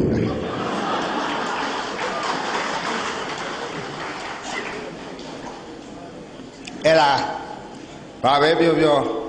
သွားတော့ကတော့ မြမအာဂတာကဘာကိုလွှမ်းပြီဆိုပြီးអော်ပြီးထွက်သွားတာပြန်လာမှဒါတပ်ပြားခဏပိတ်ထားတာကျွန်တော်ဟိုးရက်ပြောတယ်မြမပြည်ကျွန်တော်နိုင်ငံတော်တော်များရောက်တယ်အဲ့ highway လမ်းတွေလည်းကားတော်တော်မောင်းမှုတယ်မြန်မာပြည်ကဆောင်းဖို့အများဆုံးညဗမာပြည်ကလည်းကဘာပေါ်မှာဆောင်းဖို့အများဆုံးတစ်ခါတလေအိမ်သာထဲတောင်ဆောင်းဖို့ကရှိတယ်ဟိုတနေ့ကအဲ့ ဟုတ်တယ်တကယ်ကိုဆောင်းဖို့ကအများကြီးပဲလမ်းတွေမှာဆိုရင်နိုင်ငံတကာလမ်းတွေမှာဆိုရင် highway လမ်းတွေမှာဆိုအဝေးနောက်ဘလောက်မှဘလောက်ရှိတယ်ကိုယ်ရှိတယ်နောက်ဘလောက်မှဟိုဘယ်မျိုးရှိတယ်နောက်ဘလောက်မှတတိထားဟာညာသူအဲ့လိုသေကြသော international ကဘာဝနိုင်ငံတကာဘယ်သူလာလာမောင်းလို့ရတော့ဆိုင်ဘုတ်တွေရှိတယ်ကျွန်တော်တို့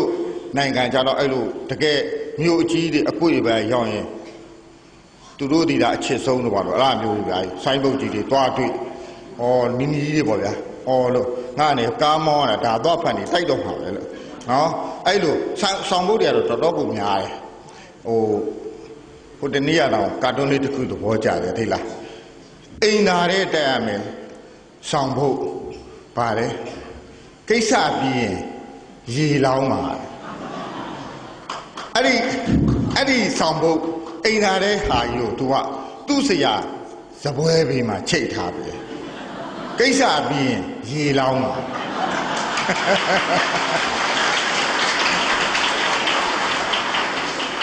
ဆရာလည်းမသိဘူးတဲ့ကျွန်တော်အိမ်သားလည်းချိတ်ရမှမသိဘူးလေလေကျွန်တော်ဒါဘာမှမသိလို့ကျွန်တော်ဆရာအဖေချိတ်ထားတာဟိုကဆိုင်ဖို့ဆရာအိမ်သားတဲ့အတွက်လှုပ်ထားတာနော်မြန်မာများမညံ့ပါဘူးအခုဘောလုံးပဲရှုံးတယ်ကျွန်တော်မြန်မာပြည်မညံ့တဲ့ကြောင်မေးချင်ပါတယ် အခုပရိသတ်များမြန်မာဘောလုံးသေးနဲ့အခုမနေ့ကတော့ကလီဗာပူးနဲ့ပါနေတော့မန်ယူနဲ့မန်ယူဘက်ကတည်လိုက်တဲ့လူတွေကိုယ်မကောင်းလားမန်ယူနိုင်မယ်လို့တေချာပေါက်ပြောလို့ရမရဘူးနော်မန်ယူဘက်ကဘောလုံးဆိုအလုံးကြီးလေမသေးချဘူးလေမန်ယူလည်းနိုင်နိုင်သွားမယ်လီဗာပူးလည်းနိုင်နိုင်သွားမယ် တေချတယ်တေချာပေါက်တာကိုထင်းတယ်လို့တာဖြစ်ကြီးတေချာပေါက်ဆိုရင်ကျွန်တော်တို့ထောနေကြပြီပေါ့နော်နေတိုင်းဟဲ့ဘယ်ဘက်ကနေတိုင်းဘယ်ဘက်ကဆိုโอเคပဲဘာအလုံးမှလဲတဲ့သွားကြမလို့ဘာမှလည်းအယောင်းဝယ်လုပ်ကြမလို့ဒီနေ့တသိန်းနှစ်သိန်းလောက်ကတော့โอเคနေမှာဘယ်ရမလဲဒါပေမဲ့ခင်ဗျားခင်ဗျားတို့မိမယ်ဗရာဇီးဘောလုံးတင်းနဲ့မြန်မာဘောလုံးတင်းကန်ကြတော့မယ်ဆိုရင် ဘယ်ဘက်ကနေကြမလဲဘောလုံးကအလုံးကြီးလေမသေးချဘူးလေမတော်ဆန်းဗမာနိုင်သွားရင်ထိုးမှာတော့ဆယ်လေးတလေးဆိုရင်ဘာဖြစ်လို့ကိုကိုကိုတပေါင်းလောင်းလိုက်ရင်ဆယ်စတောင်ရမှာဆိုတသိန်းတောင်ရမှာလောင်းရဲလားဘယ်လောင်းရဲမလဲကျွန်တော်လည်းမလောင်းရဲဘူးသေးကြတယ်အဲ့ဒီအချိန်မှာဘောလုံးကအလုံးမကလို့၄တောင်ကြီးဖြစ်နေတယ်သေးကြတယ် ဘာလို့လဲဆိုသေးကြတာဘူး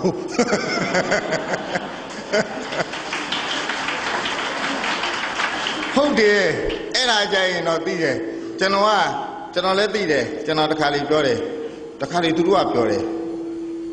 ပါတယ်အဲ့ကျွန်တော်မလောင်တတ်ပါဘူးသူတို့ပြောတဲ့စကားကြီးပါလေငါတဲ့ဘောလုံးရှုံးနေတဲ့မွေးနိုင်နေတဲ့ ဟုတ်တော့သူတို့ဗမာဘက်ကမနေတော့မွေးနိုင်တာပေါ့ဘောလုံးကရှုံးတော့ဗမာအသင်းကရှုံးတော့ဘောလုံးကြရှုံးတာပေါ့သူကဘောရှုံးနေတဲ့ငွေနိုင်တယ်အဲ့ဒါဘာပြောဆိုကိုပြားရတယ်ကိုဗမာအသင်းကရှုံးတာပေါ့ဒါပေမဲ့ကျွန်တော်တို့ကပါတာပေါ့လေဘယ်နေမလဲတဲ့ဟိုဘက်ကနေတာပေါ့ဟိုမိုက်တယ်ကွာပိုက်တာလို့သိလားဗမာများတော်တယ်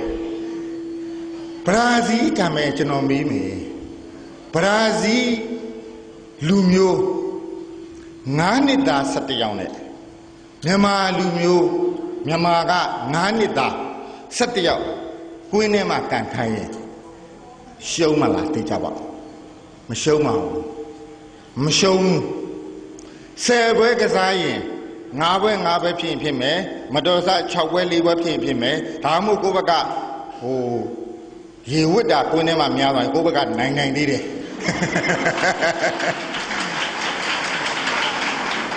ဟိုဟိုဘရာဇီးလူကြီးတင်းနဲ့တော့သွားမလို့နဲ့တော့ရေဝတ်လို့မကားလို့ကပဲလေဝင်းကြီးရောက်နေတယ်သူတို့ကကန်သွားမှာနော်အဲ့တော့ငါးနှစ်သားချင်းကန်ရင်တော့ကျွန်တော်တို့ probability theory ခေါ်ပေါ့ဆယ်ဘွဲကစားရင်ငါးဘွဲငါးဘွဲတည်ရပတ်ဝန်းကျင်ရှိပါလေဘာလို့လဲဆိုတော့ကျွန်တော်တို့မွေးရပါမညံ့ဘူးဆိုတော့ပြတာအဲ့ဒါမွေးရပါလုံးဝမညံ့ဘူးဓမ္မဟာဆယ်နှစ်သားလောက်ရောက်သွားရင်တော့ ဆယ်ဘွဲကစားရင်တပွဲတလီတော့နိုင်ကောင်းနိုင်မယ်နော်တေကြဘောက်ကတော့ကိုးဘွဲလောက်ကတော့ရှုံးလာပြီ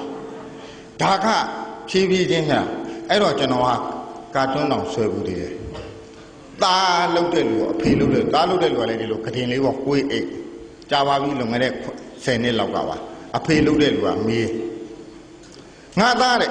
ကတင်မောကောင်အဖေကပလက်ကလေးတိုင်းနဲ့နှစ်ယောက်လုံးတော့ဇိမ်ခန်းနေတာပဲ အဖေလုတ်တဲ့လားငါသားမင်းငယ်ငယ်တုန်းကစုတွေအများကြီးရတယ်နော်တဲ့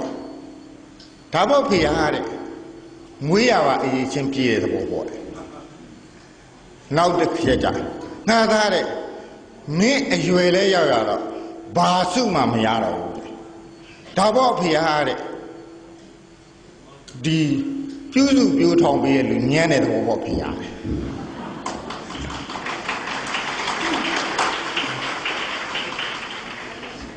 ပြုစုပြေးထောင်ပြိုးထောင်မြေထောင်မြောက်ပေးရလူညံ့တဲ့သဘောပဲအဲ့နဲ့အဖေလို့တယ်တော့မကျေနပ်ဘူးတိလားနောက်ဆုံးတော့ပဲကြပါ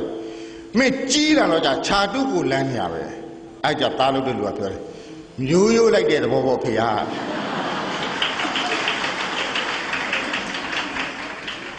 အဲ့တော့ကျွန်တော်တို့မြန်မာများမွေးရပါညံလည်းမနေဘူးမြန်မာလူမျိုးများညံနေလို့ နိုင်ငံခြားသွားအလုပ်လို့လို့ပညာသွားတင်လို့ညံမမီလို့ပြန်လာရတဲ့လူမရှိတဲ့လောက်ရှားပါတယ်အလုပ်သွားလုပ်တယ်အော်ပီဂျယ်လို့လို့ကွန်တတွေးတွေတပြည့်ပြည့်ဟိုထွေးတီထွေးနဲ့ထွေးလို့စင်ကာပူနိုင်ငံကအမေရိကန်နိုင်ငံအင်္ဂလန်နိုင်ငံကအဲ့ဒီလိုပြန်လွတ်ခံရတဲ့လူတစ်ယောက်မှမရှိပါဘူးဟုတ်တော့ဥပမာထွေးရအောင်ထွေးပြီးထွေးရင်ဘာပါသွားမလဲဒီဘာပါပါသွားမယ် လေးပြားအထက်မှာကူလို့မောင်တာဆိုပါမြမလူတန်ပို့လိုက်မရှိဘူးအဲ့လိုမရှိဘူးနော်ဘာလို့လဲဆိုတော့ကျွန်တော်လည်းအဲ့ဒီအင်္ဂလန်သွားတော့အင်္ဂလန်မှာသွားရင်ရင်းပြားတွေကပြတ်နေတယ်ရင်းပြားကိုကဒီလိုလေးကြည့်တော့ဖြိုက်တယ်လမ်းပေါ်မှာကျူးတာအားလို့ကျူးနေရတယ်ရင်းပြားကတစ်ခါကြည့်ပြောတယ် ညောက်ကဖြတ်တယ်လို့ကားရဲ့ရက်ပြရတယ်အာနိုင်ငံသားဟုတ်တယ်အာဖြတ်ကျွန်တော်တခါတော့ဆိုရောင်ပြီးလေဟိုဘက်ဆိုင်ကဟိုဘက်လမ်းကစောက်ဆိုင်လေးငါ့သွားရင်ကောင်းမလားဆိုပြီးရောင်ပြီးတော့ဖြတ်ဆိုလမ်းပေါ်ချတာကားတွေအကုန်ကျွေးကနေရက်သွားကျွန်တော်တော်ပါပြီလေနောက်တစ်ပတ်မှသွားတော့ခြေတော့လည်းပြန်ရုပ်တော့ဆဲခံလိုက်ရတာပေါ့အဲ့ဒါမမပြီလည်းပြန်ရောက်ရောအဲ့မှာ3လလောက်နေပြီဘာပြန်ဟုတ်တော့ ကိုကလည်းအမေကိုကိုကိုဖတ်နည်းနည်းကျေလာတာပေါ့နော်ဟိုကိုကိုကိုနိုင်ငံကြီးသားလို့ဘာလို့ဖြစ်လာပြီးတော့ကျွန်တော်ဒီလိုလေးပဲဟိုအောင်မြင်းချာနာရောက်တော့ကျွန်တော်သိလိုက်ရန်ကုန်မှာရက်မြင်းချာလည်းပြက်တော့ပြက်နေဝါတာတာလေးတော့ကြံသေးတယ်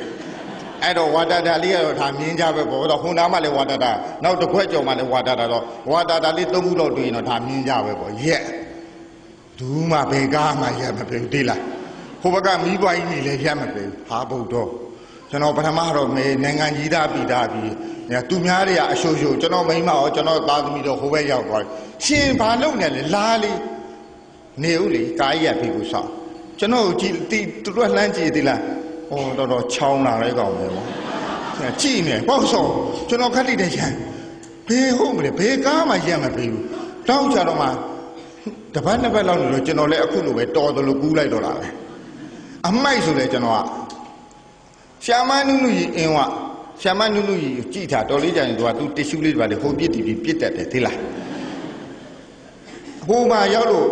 ရှာမနုနုကြီးအင်္ဂလန်သွားလို့တစ်ရှူးလူနှက်နှက်ညစ်ထားတဲ့တစ်ရှူးကြီးလမ်းပေါ်ချလို့မြန်မာပြည်ကပြန်ပို့လိုက်တယ်ဘယ်တော့မှမဖြစ်ဘူးစီကန်းလိုက်နာပါတယ်တချို့ကမြန်မာတွေအလကားနောက်10နှစ်ထိဒီစီကန်းဟိုအကျင့်ပြက်ချစားမှုတွေဘယ်တော့မှ ဒီလူတွေပြင်လို့မရဘူးကျွန်တော်အဲ့ဒီစကားလုံးကိုကျွန်တော်ဘယ်တော့မှဆိုခါခါတည်နေတယ်ဟဲ့မြန်မာတွေပဲနိုင်ငံခြားသွားလို့တော့မနေ့ကဒေးရဲ့တပတ်ခါဒီနေ့စင်ကာပူမှာရောက်ပြီးအလုပ်လုပ်နေတဲ့လူတွေရွာလူတွေတောဝလူတွေကချင်ပြည်နယ်လူရောချင်းပြည်နယ်လို့အများကြီးပဲအဲ့ဒီသူတို့နိုင်ငံကြီးသားရဲ့အဆင့်တန်းမမီလို့ဘောင်းတာချိုကြီးရတော့ဟိုစင်ကာပူကစတီးကုမ္ပဏီမှာမန်နေဂျာကြီးလုပ်နေပြီးတော့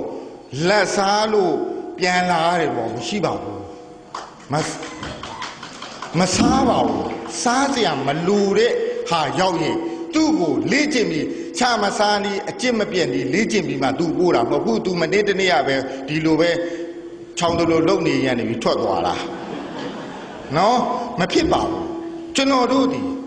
ရှာမနုနုကြီးကပြန်လာကျွန်တော်လည်းလိုပဲပြန်လာကစားအမှိုက်မပြည့်ဘူးတိလား အမိုက်ဆိုသူတို့နိုင်ငံတွေမှာအမေရိကန်ရောက်ရောက်ပါကျွန်တော်ကိုဘောင်းမီအိတ်ထဲထည့်ကြတယ်ထည့်ပြီးရင်အမိုက်ပုံးတွေမှာကျွန်တော်တို့ကတေချလှက်ပြီးပြစ်လိုက်တာကျွန်တော်အဲ့လိုပြန်ရောက်ခါစားဆိုတိလားကျွန်တော်အဲ့ပြန်ရောက်တဲ့ပစိုးဝတ်ပါတယ်ခါပေါင်းစာကြီးကြီးကြီးလုပ်ပြီးတော့အဲ့လိုထက်လိုက်ထားခါပေါင်းစာကြီးကပထမတော့နောက်တစ်ခါတစ်ခုကိုညာတို့ဒီပဲထက်အမိုက်ပြက်ခံဒီမတွေ့သေးဘူးထက်တော့ခပောင်တော်ကြီးကဒီလောက်လောက်ဖြစ်အမိုက်ကုန်းကမတွေ့ဘူးသိလား နောက်ကြမဖြစ်တော့ဘူးကြာရင်ပစိုးကကြွတ်ကြတော့မယ်အဲ့နဲ့ဟိုမြောင်းနေသွားခါကြသူစီကန်းဆိုတာသူအခြေအနေပြီးမှပြီးအောင်ကျွန်တော်တို့ကပြီးထင်အောင်လုပ်ရမှာဘူးเนาะအဲ့တော့မြန်မာများဟာဝေးရပါမညံဘူးမြန်မာတွေဒီစီကံမရှိဘူးလို့ပြောတာမှားတယ်မြန်မာတွေအကုန်လုံးကလက်စားတယ်လေရင်လေတို့လုပ်တယ်အကျင့်ကိုပြက်နေပြီဘယ်ဒီလို နိုင်ငံဒီမိုကရေစီနိုင်ငံဖြစ်လို့မရဘူးဆိုတော့မှားတယ်ဒီမြန်မာတွေပဲနိုင်ငံတကာသွားနေတာဒီမြန်မာတွေဘယ်နိုင်ငံရောက်ရောက်အကျင့်မဖြစ်ဘူးအဲ့ဒါကြောင့်ကျွန်တော်မြန်မာတွေစီကံမရှိဘူးလို့အစ်စ်နေသေးတယ်လို့ပြောရင်ကျွန်တော်ဘယ်တော့မှလည်းမမြန်မာတွေကညံလဲကောင်းတယ်ညာအကောင်းတာမှတော်တော်ကိုကောင်းတာသိလားညာတခါတလေညာနဲ့အယောင်နေပါထွက်ညာနဲ့အနီးယောင်နေအနဲ့ယောင်နေထွက်ထွက်လာဟိုဟို ကျက်စုပင်ကျက်စုကျက်စုပင်နေတော့ဒီမှာလွန်ခဲ့တဲ့ဘွာတော့စိုက်ခိုင်းလာမသိဘူးခမရတို့ဘဲတော့အမှန်မှာတော့ခမရတို့ကကျက်စုပင်စိုက်လို့ရတဲ့ရက်ဒေတာမဟုတ်ဘူးကျက်စုပင်ကရှမ်းပြည်တို့ဘာလို့စိုက်ရတာဒါပေမဲ့စိုက်ခိုင်းမယ်တော့ထင်ပါတယ်ဒီမြို့မှာတော့တိတ်မတွေ့သေးဘူးကိုဖြတ်လာတဲ့လမ်းကခဏလေးမို့လို့ထင်တယ်ကျက်စုပင်ကျက်စုပင်ကထွက်တဲ့ဇီဝလောင်စာတိတ်တံမှုရှိပါတယ်ဇီဝလောင်စာဒီတဘာဝပတ်ဝန်းကျင်ထက် အတွက်တကယ်ကောင်းပါတယ်ဘာလို့လဲဆိုတော့ तू ကကျွန်တော်တို့ဒီတွင်းထဲကထွက်တဲ့စီတော့ကလောင်စာကိုလည်းချွေတာပြီးသားဖြစ်တယ်နောက်တစ်ခုက तू ကကာဗွန်ဒိုင်အောက်ဆိုက်လည်းအထွက်နေတယ်အဲဒါကြောင့်တဘာဝပတ်ဝန်းကျင်ထိမ့်သိမ့်မှုအင်မတန်လိုပါတယ်ဒါပေမဲ့ဇီဝလောင်စာနော်ဘိုင်အိုဒီဇယ်ခေါ်ပါတယ်အဲ့ဒါကိုကျွန်တော်တို့ကစက်တီမှာသုံးလို့ရတဲ့အစ်စ်ပြန်ပြီးတန့်စင်တဲ့စနစ်ဟာ ကျွန်တော်တို့မြန်မာပြည်မှာလုံးဝမရှိသေးပါဘူးကျွန်တော်သိတယ်ကျွန်တော်တို့ရင်နံကိုတူးလိုက်တယ်ရင်နံကိုဟာဒီဓာတ်စီကားတွေတဲ့လေမြန်တွေတဲ့အိမ်တွေသုံးလို့ရတဲ့အဆင့်ကိုပြန်ချက်ယူရပါတယ်အဲ့ဒါဓာတုနီးပညာတွေအစဉ်စဉ်နဲ့ဆက်ရကျွန်တော်တို့ဒီကျက်စုစီကျက်စုပင်တွေစိုက်တော့ပညာရှင်များလိုက်ကြရတယ်သိလားကျွန်တော်တို့အပါဝင်အင်ဂျင်နီယာတွေပါလူကြီးကိုသူတို့မဲ TV မှာကိုရိုက်ပြတာမှတ်မိတယ် ကြံကြိတ်တယ်လို့လေကြိတ်မဲကျက်စုစီတွေထက်ထွက်လာတာကိုဟိုရေစစ်ကလေးလောက်နဲ့ကြော်လေးနဲ့ခံပြီးတော့မှမဲအင်ဂျင်နဲ့ထက်ထက်ပြီးဖုံးနိုင်ဖုံးနိုင်နဲ့မောင်းပြတာဟာပုဂ္ဂိုလ်တွေဘယ်လူများလောက်ပါလိမ့်ပေါ့ဒီလားတကယ်တော့မောင်းမရဘူးဗျာဒီလားအဲ့နဲ့တငယ်ချင်းတယောက်မေးကြည့်ရဒီလားမင်းကလည်းကွာတဲ့အဲ့ကောင်ကနည်းနည်းတောင်းရှိတယ်သူကလည်းအင်ဂျင်နီယာပဲမင်းကလည်းကွာတဲ့ ဒီဘက်အကန့်မှာဓာတ်စီတက်တက်ဒီဇယ်တက်တက်ထည့်ထားပဲငါတို့လောင်းတဲ့ထဲကနေဒီဇယ်သွားလာမှာမဟုတ်တာညံနေညံနဲ့ကသိလားအတော်ဆိုးတယ်ပညာရှင်ကညာတော့အညာခံခြင်းတဲ့လူကလည်းအေးအေးဟုတ်တယ်ကောင်းနေဆက်လို့ဆက်လို့ပေါ့လေဘာလို့ဆိုတော့ तू ကဟိုးဘက်ကဆက်ပြီးမသိတဲ့လူကခိုင်းတာတော့ तू ကဆက်ညာဖို့တာဝန်ရှိတာဟုတ်ကျွန်တော်တို့အဲ့လိုတော့လုံးလို့မရတော့ဘူး ဘာကျွန်တော်သူများနဲ့ပြန်ရတာအဲ့ဒီအတွက်ငွေကြက်တန်းပေါင်းများစွာကုန်ဆုံးသွားပြီအဲ့ဒီကျက်စုပင်ဆိုင်တော့ကျွန်တော်နှမျောတာအဟွာပဲဗျကျက်စုမျိုးစည်းတွေပါတဲ့အဲ့ကျွန်တော်ရာဇမတ်ကာတာတို့ကော်စောခင်းတာတို့နှမျောတာဟောဆိုကျက်စုပင်ဆိုင်တာဗျလဲတဲ့ဒီမှာစပားတော်ဆိုင်နေတာဘာကော်စောမှမခင်းမဲဆိုင်တာလားဒီကျက်စုပင်ကြမှာကော်စောခင်းရအမကြော်ဖဲကျူးဖြတ်ရတယ်ကြော်ကြတယ်လို့ကျွန်တော်မဟုတ်ပါဘူးအဲ့ပတ်စံတွေကကျွန်တော်တို့ စေးကုဖို့ကျွန်တော်တို့ပညာသင်ဖို့အတွက်အင်မတန်လိုအပ်နေတဲ့ပတ်စံတွေပါကျွန်တော်တို့မှာစေးလည်းမပြည့်စုံဘူးပညာရေးလည်း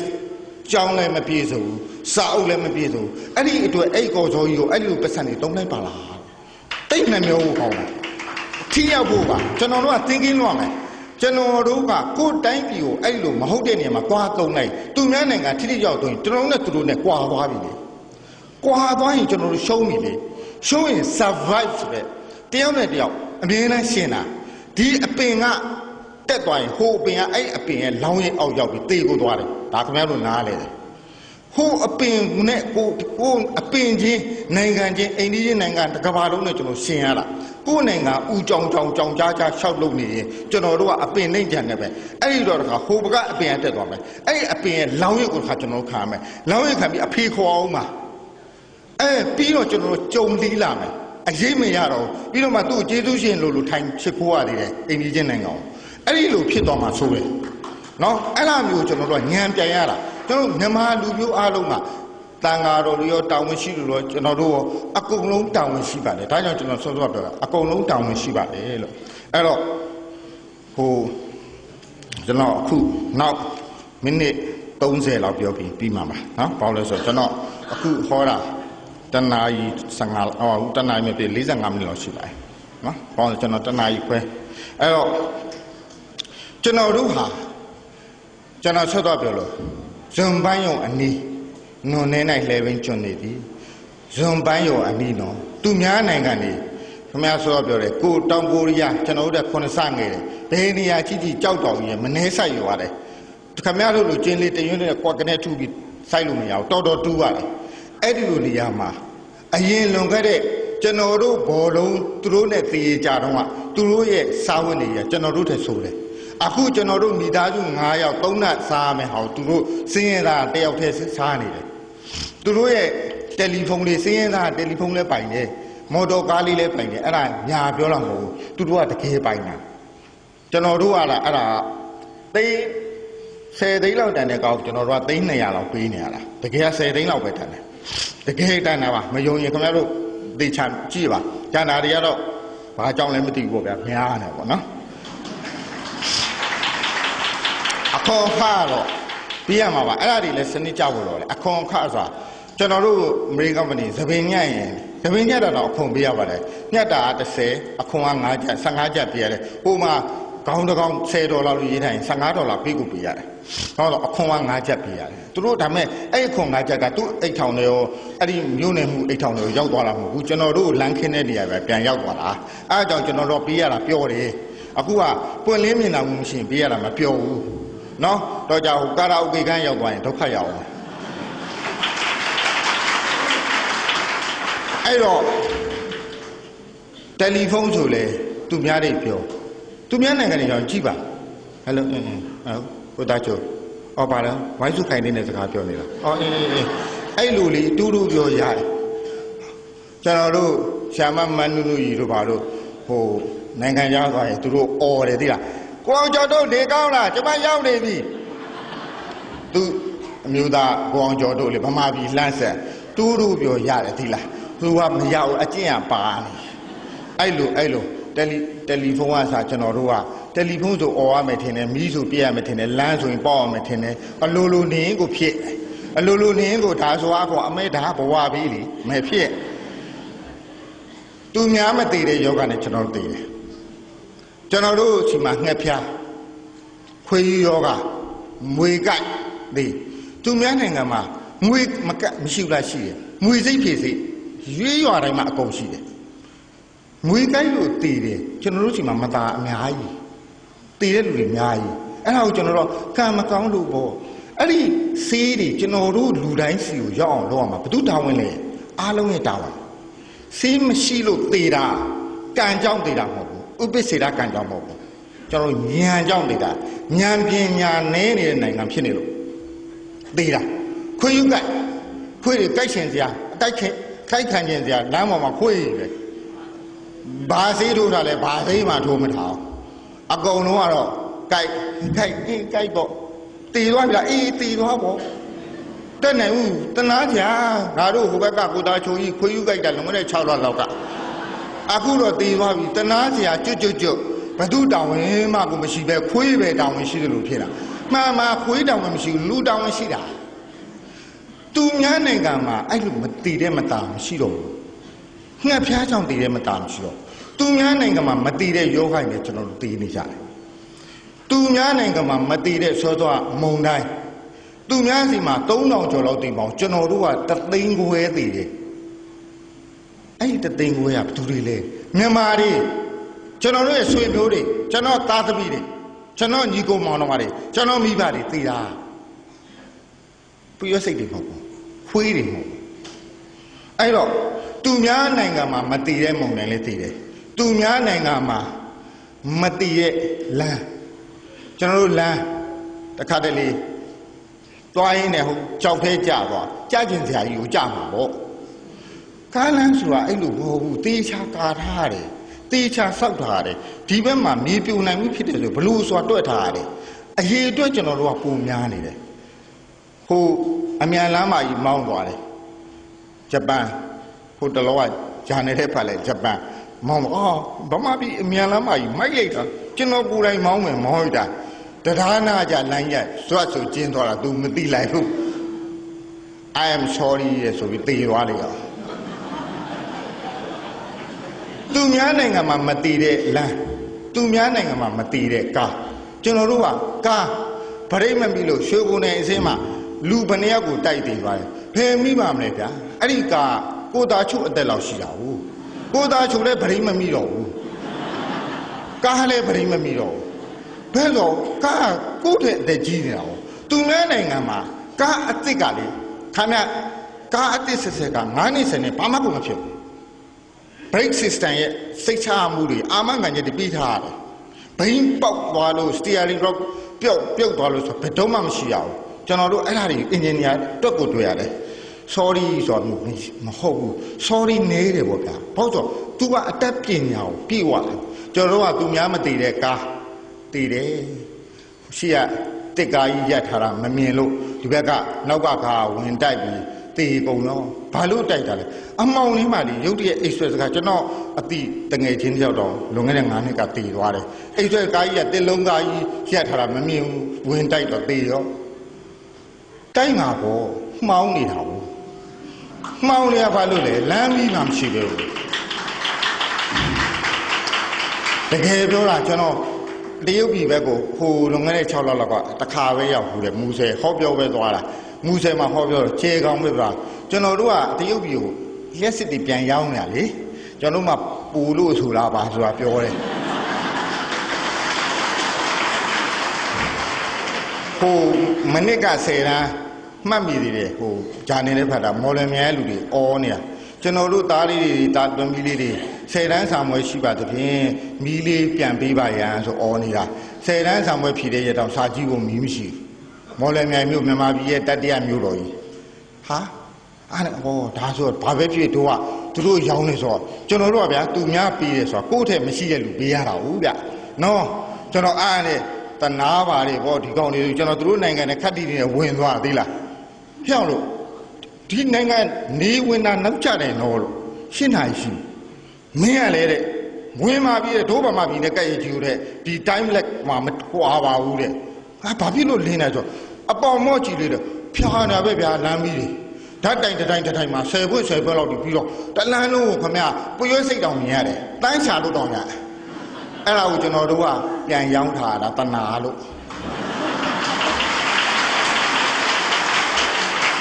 သူတို့စီမှာဘလို့လုပ်ပြီးလမ်းဘေးရထားလို့မမြင်ရလို့ဝင်တိုက်တဲ့ကားဘယ်ရှိပါမလဲတန်းအောင်ရှာလို့ရအောင်လင်းနေတာတကယ်ပြောတာဩလို့သူများမသိတဲ့ဟာလည်းကျုပ်တို့ကသိနေကြပြီပညာသင်တော့ဆယ်တန်းလေးအောင်ဒီတွေကမောင်ဘသူကတော့6ဘာသာကုန်ပြီးနေအောင်ဟိခမဟိုခမသားလေးအောင်လေခမပတ်စံရှိဘေးထား ဘေးထားမှမသိပါဘူးဆရာကြီးစင်ကာပူသွားပို့ရမလားဘာလို့ရမလဲအဲ့ဒီလိုပညာသင်ရင်လည်းဘာလို့လဲဆရာစီးတက်ကတူထားစီးတက်ကတူဘွဲရပြီးလေအလုံးလည်းမရှိဘူးဆရာတဲ့ရတဲ့လက်သားလည်းတသိန်းနဲ့ तू စားမလောက်ဘူးဆရာဘာမှအမှန်ကန်ချက်မရှိဘူးပညာသင်သွား6ဘာသာတုံးကတော့15ဘာသာကိုလူထွက်အတွက်စင်ကာပူအဲစားလေးနေတဲ့ပိုတက်နေဩစတြေးလျဒီတဲ့ပိုတက်နေရင်အင်္ဂလန်ဒီတဲ့ပိုတက်နေအမေရိကန်ပို့လိုက်တယ် တချို့ဆိုသူငယ်တန်းနဲ့သွားထားတယ်သူငယ်တန်းနဲ့သွားထားတဲ့မြန်မာတွေအများကြီးတော့အများကြီးအများကြီးအများကြီးကျွန်တော်တို့နေမှာလည်းရှိတယ်အမေပါလိုက်သွားပြီးသွားထားတယ်ယောက်ျားလုပ်တဲ့လူတော့ဟန်ကြတယ်ဟောဒီမှာအဲ့ဒါပေါ့အဲ့ဒီလိုပညာသင်တော့တဲ့နိုင်ငံသားဆေးကူတယ်ကင်းစာလောက်များဖြစ်လို့ပတ်စံတော်တော်တတ်နိုင်ရဲ့ကိုသာချိုကြီးအခုနေတွေ့လို့ဓာတ်မှန်ရိုက်လဲလို့ကိုသာချိုစီမှာကင်းစာ ဒုတိယအဆင့်လောက်ရောက်နေပြီဆိုရင်ဒီမှာမကုနဲ့တော့ကိုတာချိုးနော်ဘာပဲဖြစ်ဖြစ်ထိုင်းလောက်ပါလောက်သွားကုဒီမှာကုရင်တော့တေးကြတယ်ဗျာသိလား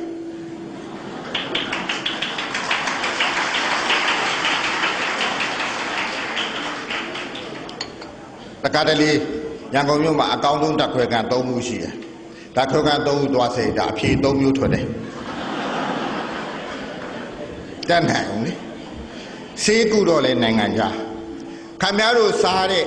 ခင်ဗျားတို့စားကြရတယ်မယုံရင်ခင်ဗျားတို့ကုန်းဆုံးတယ်ဒီမှာကြည့်လိုက်စားကြရခောက်ဆွဲကြောက်ကစားပေါင်မိုးကစားမိုးကျုပ်ကစားဘီစကက်ကစားနိုင်ငံခြားဟာအများစုအများစုတော့စားကြနိုင်ငံကြပဲဟိုကလေရတယ်တော်သူမယ်လမင်းမယ်ပါပါသိုးသေးပဲပါပါရောင်းတာပဲ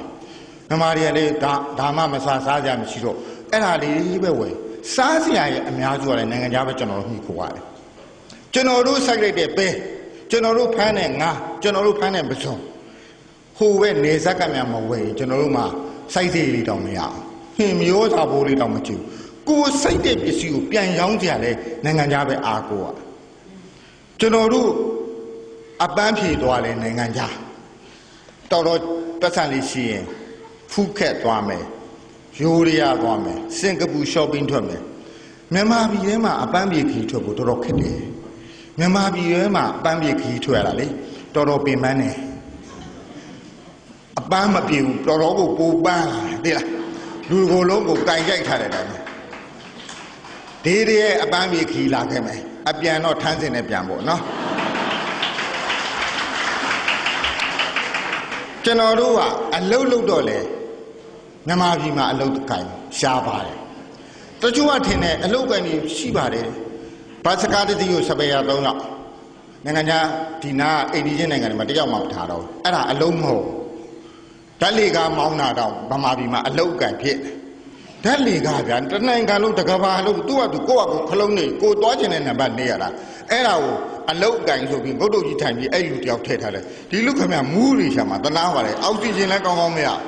တခါလေလေကိုယ့်ဟာကိုယ်နှိပ်တဲ့အတန်းနဲ့လေနံပါတ်6 တခါတလေအဲ့ဒီဗမာဒီအဲ့ပြဿနာအဲ့ပြန်လာမှာအဲ့ဒါတွေကလိုရမှာ6နှိပ်လိုက်ပေါ့သူ့အတူရောက်သူ့အတူအော်တိုကွင်းသွားပေါ့ဟိုမှာဆရာကြီးက6ဒါဟာတနာပါတယ်လူကြီးတွေသိလားတန်တန်ဆွမ်းဆွမ်းကြီးတွေဒီလူကြီးတွေလဲဆိုင်ရင်ဒီလူကြီးတွေတခြားသူ့ရဲ့ကာယအလုပ်ကိုဒီပြည့်နေရာမှာသုံးကြစပယ်ရဖင်တွန်းဝဲရင်တွန်းဝဲအကုန်၃ယောက်လောက်ထားတယ်တွန်းတွန်းတင်မို့လေဘဲဟုတ်မှာလို့တွန်းတင်ပြီးသူတို့မလိုချင်လဲတွန်းချသေးတယ် အဲ့ဒီဒီကမ်ဘောဒီးယားတို့လာအိုတို့ထိုင်းတို့နိုင်ငံခြားဆိုတဲ့ဟိုဥရောပကိုမပြောသေးဘူးအဲ့ဒီဘတ်စကားတက္ကစီစီမှာစပယ်ရ၃ယောက်လောက်ထားပြီးတော့အဲ့ဒါဒီအလုပ်အကင်ခွင့်လန်းဆိုရက် employment ratio ဆိုတာကျွန်တော်တို့တွေ့ရတယ်ဗျအလုပ်ကံခွင့်လန်းဆိုတာအဲ့ဒီအလုံးမဟုတ်တဲ့နေရာမှာအလုပ်တွေလုပ်နေကြအဲ့တော့ခွဲယူရတာပေါ့မှန်မှန်တိုင်းပြည်လူတယောက်လူတယောက်အလုပ်လုပ်တိုင်းလုပ်တိုင်းတိုးတက်တယ်အဲ့လိုရတဲ့တိုင်းပြည်ရရတယ်ခင်ဗျားတို့ဟာဒီဟာဒီထိုင်းလောက်မှာဆိုရင်ဒီ ဒီရဲနဲ့ရန်ကုန်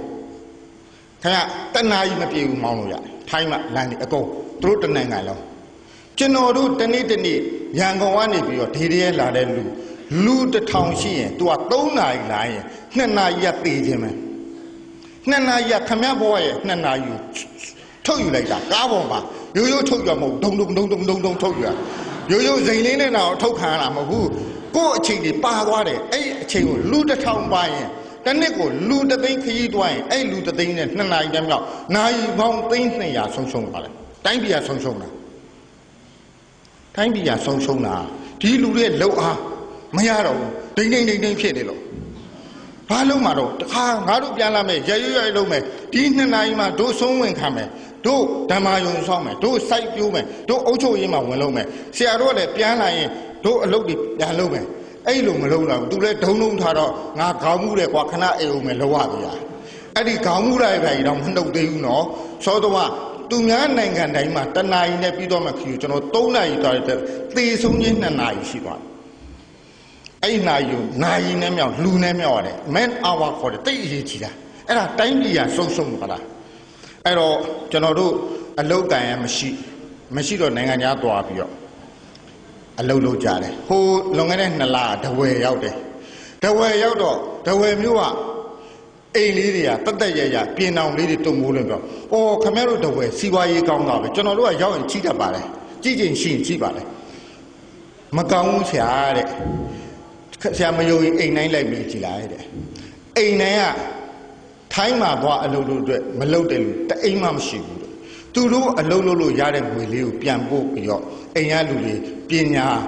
သင်ကြအိမ်လေးမိုးကြထရန်လေးကာကြနေကြတာတဲ့ဟိုဗရာစာရီယုံမုံညင်းစီဖရာရှာခိုင်းတယ်လို့မျိုးအိမ်ပေါက်ကြီးမသေးဘူးတဲ့အိမ်မရှိစွာလို့ပဲမြန်မာနိုင်ငံမှာလည်းအိမ်တိုင်းလို့လို့ကနိုင်ငံခြားသွားအလုံးမလုံးတဲ့လူမရှိစွာလို့ဖြစ်တယ်နိုင်ငံခြားမှာသွားအလုပ်လုပ်ရတယ်မန်နေဂျာကြီးနေနေမဟုတ်ဘူး 3D job လို့ခေါ်တယ်ခက်ခဲတဲ့အလုပ်ပင်ပန်းတဲ့အလုပ်ဆိုရင်မြန်မာတွေလုပ်ရတယ် difficult နောက်ပြီးဒိန်းညာဒီမှာဂေးဆော်တယ်ဘာညာနောက်အဲ့ဒီဂေးရအငွေ့တွေနှာခေါင်းကိုပြတယ်အဲ့ဒါမျိုးဟိုးတင်မောအမီပြုံမှာတန်ကြီးတွေပဲခွာတယ်ပြုတ်ကြရင်သိနိုင်တယ်အဲ့ဒါဆိုမြန်မာတွေအလုပ်ရတယ်နောက်ပြီးတော့သူများနောက် difficult danger နောက်ဗာလေအဲ dirty ကျွန်တော်တို့ငယ်ငယ်တုန်းကမြစ်ပတ်တဲ့အလုပ်ကိုနိုင်ငံခြားလူတွေလုပ်တယ်အီးကျုံတော့ပေါ့နိုင်ငံခြားလူတွေကျွန်တော်ငယ်ငယ်တည်းတွေ့ဘူးပါတယ် ကျွန်တော်ရန်ကုန်မှာဆိုရင်အီးကျုံတာဒီတော့တို့ဒီအနောက်ဘက်နာနိုင်ငံလူတွေပါဟိုကကြောင်ကြိုက်ကြီးတွေလည်းပါကျွန်တော်တို့ကအခုဓာတ်တီဆိုမြန်မာတွေလောက်ရတယ်ကျွန်တော်တို့ချသွားတာအဲ့တော့ကျွန်တော်တို့ habitat လို့ခေါ်တယ်ဗျတတ္တဝါတွေတဘာဝပတ်ဝန်းကျင်ထင်းနေပြောတယ်ကိုယ်နေထိုင်ချက်စားဖို့နေရာရှားပါလာရင်အားနေလာရင်အဲ့တတ္တဝါဒီမျိုးသုံးသွားတယ်ခင်ဗျားတို့ ဒိုင်နိုဆောကြီးတွေကြီးကြီးရှိတယ်ဒိုင်နိုဆောကြီးတွေကလူတဲ့အစာပေါင်းများစွာကြီးတယ်လူနဲ့တစ်ပတ်လုံးလူသေးသွားမှာပေါ့ဒါပေမဲ့ဒိုင်နိုဆောကြီးတွေသူတို့ရှင်တန်လို့မရတော့ဘူးအခုအေယာဝတီမှာလင်းမိုင်တွေပျောက်တော့မယ်တချို့ကြားမျိုးတွေတချို့မျိုးစိတ်တွေနေတိုင်းနေတိုင်းမျိုးစိတ်ပေါင်းများစွာပျောက်တယ်ဘာလို့လဲဆိုတော့သူတို့ကျင်လည်ဖို့သူတို့မျိုးပွားဖို့သူတို့စားဖို့နေဖို့နေရာဒီကျင်းမြောင်းလာလို့ရှိရင် သူတို့ဒီဖြည်းဖြည်းဖြည်းဖြည်းမျိုးမျိုးနေလာပြီနောက်ကြတော့ဇတ်ဆိုအကုန်ပြောက်ပျောက်သွားတဲ့မျိုးဒီတစ်သက်လုံးဘယ်တော့မှပြန်မပေါ်တော့မြန်မာဆိုတဲ့မျိုးစိတ်အခုတော်လေးကြာစေးကူတော့လဲနိုင်ငံခြားပညာသင်တော့လဲနိုင်ငံခြားအကုန်အလုပ်သွားလုပ်တော့လဲနိုင်ငံခြားလုံရင်းလုံရင်းနဲ့ကျွန်တော်တို့ကဘာဖြစ်လဲကျွန်တော်တို့နေထိုင်တဲ့နေရာမြန်မာပြည်အကြီး မြန်မာတနိုင်ငံလုံးစင်ကာပူသွားအလုပ်လုပ်ကြတာအများကြီးမလေးရှားသွားလုပ်တာအများကြီးစင်ကာပူဆိုတာဟဲ့ကျွန်တော်တကူလုံးကမြန်မာနိုင်ငံဆိုစင်ကာပူနိုင်ငံဟဲ့ကျွန်တော်လက်တန်းပြားလောက်ပဲရှိမြန်မာပြည်နဲ့အစာပေါင်းများတာကွာလားကျွန်တော်တကူလုံးဒီမြန်မာနိုင်ငံဆိုစင်ကာပူနိုင်ငံရဲ့အကျယ်ဝန်းဒီဟဲ့လက်တန်းပြားလောက်ပဲရှိတယ်ရေတောင်သူများဆီဝယ်တော့ပါတယ်သဲတောင်မြန်မာပြည်ကဝယ်ရတယ်ဘာဆိုဘာမှမထွက်ဘူး သူတို့ရေလုံးဝမရှိတဲ့နေရာကိုကျွန်တော်တို့ကရေကြီးရာဆိုပြီးသူတို့ရေသွားတော့တယ်ကျွန်တော်တို့မှရေရနောက်မြက်လူရတဲ့မြက်တောင်ကောင်းကောင်းစိုက်စရာမြေမရှိတဲ့နေရာကျွန်တော်တို့ရှိမှမြက်တွေပေါ်ဟာပေါ်နေဒါပေမဲ့ကျွန်တော်မြက်တွေကျန်းနေတယ်ကျန်းနေတော့မြက်လူရဆိုပြီးကျွန်တော်သွားကျွန်တော်တို့ရဲ့တဘာဝရေမြေဟာတကယ်တော့အကောင်းဆုံးသောရည်ပြီအင်မတန်ကိုဇွန်ပန်းရုံအနီးမှာတော်တော်ကိုကောင်းတဲ့နေရာ အဲ့ဒါကိုကျွန်တော်တို့ကကိုယ့်နိုင်ငံကိုမြင့်တူအောင်မကြိုးစားနိုင်ဘူးရည်ကြည်အောင်မကြိုးစားနိုင်ဘူးအားလုံးကတချို့ကနိုင်ငံခြားသွားပညာသင်နိုင်ငံခြားပညာသင်ပြီးပြန်လာရင်လေကဲဗျာဒုံးရပညာရှင်သွားသင်ပြီးဗမာပြည်ပြန်လာရင်ဘာလို့အောင်နိုးဒီကွထွရမှာလားအဲ့လိုတစ်ခါလေးနိုင်ငံခြားမှာပဲဆက်ပြီးအလုံးလုံးနိုင်ငံခြားမှာဆက်အလုပ်လုပ်ရင်းနဲ့နိုင်ငံခြားမှာ အိမ်အောင်ကြအိမ်အောင်ကြပြီနောက်ကြတော့တော်လေးကြကြသူ့သားသမီးလေးတွေကမြန်မာပြည်လာရင်ဟိုးဒိုင်နိုဆောဒိုင်နိုဆောမဟုတ်ဘူးသားလေးအဲ့ဒါအိမ်မြောင်ခေါ်တယ်ပေါ်လိုက်တာတော့တဲ့ဗမာပြည်မှာသူတို့စီမှာမမြင်ဘူးပိုးဟတ်အများကြီးပဲထိုင်လိုက်တယ်ဖင်မအပိတ်နေဖြစ်သွားအဲ့ပါလေလိတ်လာမဟုတ်ဘူးကြဘိုးတွေအကုန်ကို very dirty very dirty ဖြစ်လာပြီးတော့ Toby I'm sorry I, I don't want to come next game လို့ပါလားဟာ တာဗမာလိုလည်းမပြောတော့အော်ဖို့အဖေရဲ့ကျွန်တော်သားလေးရဲ့လည်းဗမာပြည်မပြောသမီးတော့မပြောတော့သားတို့ဟိုမှာပဲနေတော့မယ်ဟိုမှာနိုင်ငံသားခံနိုင်ငံသားခံလိုက်ရင်လည်းအခွန်လဲတော်တော်နေတယ်ဖြည်းဖြည်းတဖြည်းဖြည်းနဲ့မြန်မာနိုင်ငံသားမရှိတော့တရုတ်နိုင်ငံသားတွေများလာမြန်မာနိုင်ငံသားမရှိတော့ကျန်တဲ့နိုင်ငံသားတွေရတယ် ကျွန်တော်တို့ကလာအပြင်ထွက်လှုပ်ရှားတယ်သူတို့ကကြဒီလာအလုပ်လုပ်ကြတယ်ဒါပေမဲ့တထေးအနေနဲ့မှတ်ပုံတွေကလည်း၃ခုလောက်ရှိတယ်တယောက်တယောက်တော်လိုက်တာလို့ကျွန်တော်မှဒီတကူလေးပြောက်မှကြောက်လာပြီးတော့ကိုယ်ပုံလေးရတယ်သိလားကိုယ်နဲ့မတူတော့ဘူးဘာပုံမှန်မသိဘူးသိလားမဲတူတူလေးကြည့်လိုက်ရင်မောင်တာချိုးလို့လို့ဘာလို့လို့ဖြစ်အဲ့ဒါတွားလေဘယ်လောက်လဲသိမ့်ကြပဲမလုပ်ပါနဲ့ဒီအစုပ်တိုင်းပဲနေပါမယ်လို့စုပ်တာပတ်ချာမကုန်ဘူးလေအဲ့ဒါနဲ့မောင်တာချိုနဲ့ပဲအတူခံထားလိုက်တော့တာပေါ့ အဲ့တော့ကျွန်တော်တို့နောက်15မိနစ်လောက်ဆိုပြီးပါပြီနော်အဲ့တော့ကျွန်တော်တို့ဟာကျွနေပြီကျွန်တော်တို့ဟာတဘာဝဘေးရန်တွေညာပြောသလိုပဲခမများတို့လူတွေကြောင့်ဖြစ်တဲ့တဘာဝဘေးရန်တွေကပူဆိုးတယ်ဘေးရန်တွေဆိုတာကကျွန်တော်ပြောမှာအင်္ဂလိပ်လို disaster တဘာဝဘေးရန်တွေ disaster ခေါ်တယ်ဒါပေမဲ့ အဲ့ဒီဘေးဒီ hazard လို့ခေါ်တယ်ဘေးဒီအန်ဒီယမဟုတ်သေးဘူးခမရဆိုတော့မီးလောင်တယ်ခမရအိမ်နဲ့အဝေးကြီးဆိုအန်ဒီယမလောင်ဟမ်းဆိုင်မေးပြိုတယ်ခမရအိမ်နဲ့အဝေးကြီးဆိုဘာမှမဆိုင်ဘူးမုံတိုင်းတိုက်တယ်ခမရအိမ်ကဒီလောက်အဆောက်အဦကောင်းကောင်းကြီးကုန်းရတယ်အမြင့်ကရှိတယ်လို့ခမရနဲ့ဘာမှမဆိုင်ဘူးတဘာဝဘေးအန်အန်ဒီယဖြစ်သွားတာဒီမိမိရဲ့ချိနေခြင်းနဲ့ပေါင်းမအန်ဒီဖြစ်တယ် ဘေးဟာကျွန်တော်တို့တဘာဝဘေးကဘယ်တော့မှရှောင်လွဲလို့မရဘူးတဘာဝဘေးကငလျင်လှုပ်ရှင်လုံးမဲ့မိုးကြိုးပြစ်ချင်းပြစ်မယ်မတတ်နိုင်ဘူးလေမိုးကြိုးပြစ်တယ်ဆိုလဲဟိုဟိုပြစ်ချင်တဲ့လူပြစ်တာလေနော်ကိုယ့်အကိုငါးပါးတီလာလုံနေဆိုပြီးတွားနေလို့မရဘူးငါးပါးတီလာလုံနေဆိုပြီးတွားနေကိုယ့်စီပြစ်ရင်ပြစ်တာတနာဖို့ကောင်းတယ်တချို့အခုတလောဆိုဟိုဘက်လှဲလှဲကူးပဲတော်တော်ပြစ်ခံရတယ်မိဘလှုပ်ကြွေးနေတဲ့တာသမီလေးတွေ နွားကြောင်ရင်လဲစင်းရင်လဲဆိုင်ရင်မိုးချိုးပြစ်ခံရတာတပတ်ကို3-4ရောက်နှုံတော့သူတို့ကျွန်တော်ထင်တယ်တိလားလမ်းခင်အထိလင်းဆိုင်တမလီယာတို့ဒေးရဲလမ်းခင်တော့ကတ္တရာဘုံတွေသူယူထားဖို့မရဘူးလို့သူကမြအလကားနေပြစ်ခံရတာသူသမင်းညာနဲ့သူထားပြီးတော့ဟုတ်တယ်လေဟိုတရားကြီးဆောက်တော့လည်းသူဘီလက်မြေတအိမ်မှာယူထားဖို့မရဘူးဒါပေမဲ့သူကမြပြစ်ခံလိုက်ရတယ်ဘုန်းစော မိုးကြိုးတွေပါတယ်လည်းအဲ့လိုပဲပြစ်မှာပဲမိုးကြိုးကအခုဆိုရင်ဒီတနည်းနဲ့ကျွန်တော်ဥထုံးနဲ့မိုးလေဥသောဥထုံးနဲ့ခင်တယ်ဒီတနည်းနဲ့နဲ့မှာပို့ပြီးသင်္စာသုံးစာပုံများလာမယ်မြန်မာပြည်ကနောက်ပြီးတော့ကျွန်တော်တခါတော့ကတ်တွင်းရေးဘူးတွေပဲသိလားမိုးကြိုးအဲ့လိုမကောင်းတာလို့ရင်မိုးကြိုးပြစ်ခံမယ်ဆိုတာတိတ်ပြီးမယုံကြနဲ့သိလားကျွန်တော်ငယ်ငယ်တော့မကောင်းတာလို့ရင်မိုးကြိုးပြစ်ခံမယ်ဆိုအမေကပြောကြောက်တာပေါ့ဗျာကိုကကြောင်ရင်ထဲကငါးကြော်လေးအနှံ့ရရင်ကိုကလည်းတဒုံလောက်တော့ကစ်လိုက်တာ哦 ကဲလိုက်လို့ကြည့်ပြီးလို့စားလို့အယိုးလေးကြံကရှိသေးဗျာမိုးကမဲလာဒုက္ခပဲပေါ့တကားကြတဲ့သွားပုံနေရသေးလားကြီးလာတော့သဘောပေါက်သွားသေးလားမဟုတ်တော့ဘူးသာကျွန်တော်အဲ့နဲ့ကတ်တွန်းရေးဘူးတဲ့တစ်ခွက်ကတ်တွန်းတကြားမင်းကလေဝရစိတ်လက်နဲ့ပေါ့ဗျာမိုးကြိုးသွားကြီးနဲ့အပေါ်ကနေကောင်းငင်မော်ကနေအောက်ကိုချိန်ပြီး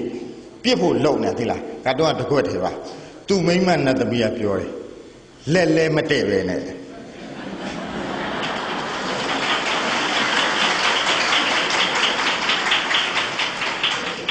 အဲ့တော့ထားပါတော့ခင်ဗျာကျွန်တော်တို့ဟာ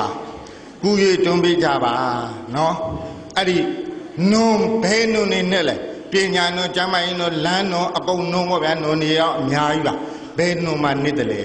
ကျွန်တော်တို့ရိုးရိုးလှဲတစ်ခုစီရွယ်ပြည့်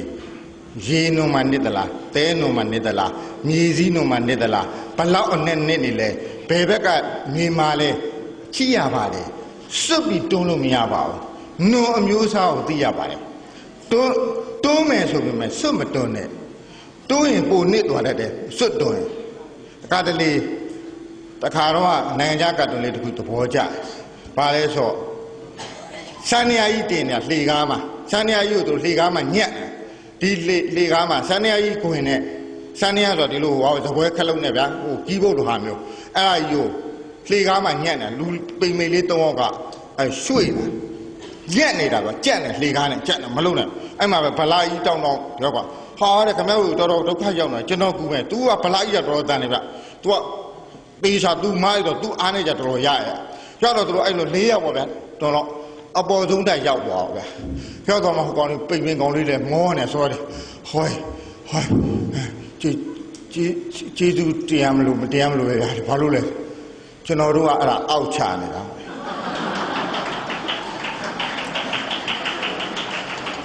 အဲ့တော့စွတ်လည်းမတွန်းကြနဲ့ဟုတ်တွန်းတဲ့အခါမှာလဲတွန်းမယ်အေးတွန်းကြမယ်ဟာဟိုဘက်ကကော်မတီကအခမ်းအနားမှုကလည်းခမရတွန်းလာကျွန်တော်စောစောကတွန်းလိုက်တယ်လေဟာကိုသားချိုကျွန်တော်တော်ကြခမရတွန်းပြီးတွန်းမှာပေါ့မနုလူကြီးခမပေါ်ဝါလေးရဟိုဝါလေးရအခုကိုအောင်ကျော်တို့ဝယ်ပေးထားတာဘာဖြစ်နေလဲပထာလေးသိမ့်လိုက်အောင်မယ်သူဟန်ပြင်းနေတယ်မတွန်းရဘူး တွန်းနေဆိုရင်တပြိုင်တည်းဖြစ်ဖို့လိုတယ်တပြိုင်တည်းဖြစ်ဖို့လိုတယ်တွန်းမယ်ရှေ့ဘက်ကသဘိုးဘက်ကဘယ်သူမှဘိန်းရဘယ်သူမှဟာရှာမရှာမဟုတ်တယ်ရှာမမိန်ကလေးမတွန်းနဲ့ရှာမကျွန်တော်တို့တွန်းတဲ့လူတွေရေငတ်တာကိုရေလေးဟိုနာဆန်းကြောင်းလေးမှာသွားခတ်ပေးအဲ့ဒါဒီလေတွန်းခြင်းတစ်မျိုးပဲကူတွန်းမိခြင်းတော့ငတ်တယ်လို့ရေပေးမယ်ရေစာမဲ့လို့ရေပေးမယ်အားဖြည့်မယ်ဟာဟိုကကိုတော်ချောကြမဟုတ်ဘူးခမရတို့စွတ်မတွန်းနဲ့ဟာဒီဘိန်းအောင်မှာ ကြောက်ခဲလေးနှစ်တုံးတောင်းနဲ့ဒီတိုင်းပြီအဲ့ဒါထားပြီးခံပြီးမှလို့ကျွန်တော်ကအဲ့ခါမှာဟေးခမရတို့ဒီလိုလုံးနေဟို leadership management ခေါင်းဆောင်မှုစီမံခန့်ခွဲမှုတွေလိုတယ်ပညာလိုတယ်စွတ်တွန်းလို့မရတော့ကြာဆန်းရကြီးလို့အပေါ်ရောက်သွားအောင်ပဲအဲ့တော့မှမဟုတ်ဘူး1 2 3တွန်းမယ်เนาะအဲ့လိုခမရကြတော့မာထုံးလေးတွန်းခမရကြရှေ့ကိုဆွဲ ခမရကြဟိုဘက်ကနေစောင်းတယ်ဘာလို့ကျွန်တော်တို့ဟိုဘက်ကမကြပဲညာဘက်ကိုခြာပြီးထွက်စီကြတာစဉ်းစားရတယ်နော်တွန်းဆိုပြီးဟေးချောက်တွန်းကွာအကုန်လုံးဆိုတာအဲ့ဒါမှားတယ်လုံးဝမှားတယ်ဘယ်လိုတွန်းကြမလဲဆိုတာစဉ်းစားပါနော်အဲ့ဒီတော့လေးလွန်းရင်မတွန်းနိုင်ဘူးလားဆိုလေးလွန်းရင်လည်းဗျိုင်းတူတွန်းရင်ရွှေ့နိုင်တယ်ဗျိုင်းတူတွန်းပြီးကိုလိုတယ်အုတ်ချုပ်သူအောင်တန်ဃာတော်တွေအောင် policy maker တွေကလည်းအခုဆိုရင်ခေါ်မယ်တော့ကိုမျိုးကိုရွာကိုနိုင်ငံအသိပညာ တိုးတက်စေဖို့စာ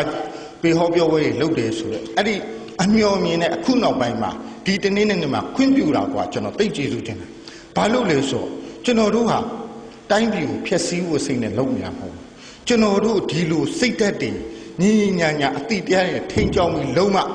ကျွန်တော်တို့လှိမ့်နုံနဲ့ထွက်မယ်နုံနေကထွက်ပြီးမှလှဲဆိုတာရွေးလို့ရတာမဟုတ်ဘူးလားကျွန်တော်တို့ဟာအရှိတောင်အာရှမှာ ကျွန်တော်တို့နိုင်ငံဟာအရင်တော့ခင်ဗျားတို့လူကြီးတွေသိတယ်တောင်ကိုရီးယားကိုလည်းရှင်နိုင်တယ်အာရှမှာပထမရဘူးတယ်ပညာရေးမှာလည်းပထမကျမ်းမာရေးမှာလည်းပထမအဆောက်အဦလမ်းတွေမှာလည်းပထမကျွန်တော်တို့ရခဲ့တာအခုတော့ကျွန်တော်တို့ကနွန်ထဲမှာနေပြီးရက်သွားပြီသူများတွေလာအိုလိုနိုင်ငံအင်မတန်နောက်နောက်ကဟာတောင်ကြော်တက်သွားပြီကျွန်တော်တို့ကျွန်တော်တို့ဟာပြန်ပြီးတော့ကျွန်တော်တို့ဘေးကိုလွန်နေရနေအပေါ်ရောက်အောင်တော့မယ် နုံနဲ့အပေါ်ရောက်ပြီးကိုခီးရဤခီးနီးသလားဆိုမနီးဘူးဆက်ပြီးတော့ကျွန်တော်တို့သူတို့ရဲ့ညံနှုံးကိုသူတို့မှီအောင်လိုက်ရအောင်ပဲအဲ့ဒီမှီအောင်လိုက်ဖို့နေတဲ့တာအခုနုံနဲ့ရုံးဖို့တောင်မှစေရနာပညာတတ္တိအတူပေါင်းစုံပြီးတွန်းမှရမှာအဲ့တော့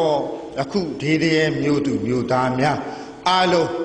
ဗျိုင်းတူတွန်းနေရွေးနိုင်မှဒီအားလုံးဒီတာဝန်ရှိပြီးအားလုံးတွန်းပေးကြပါလို့ပြောရင် ညီကုန်းချု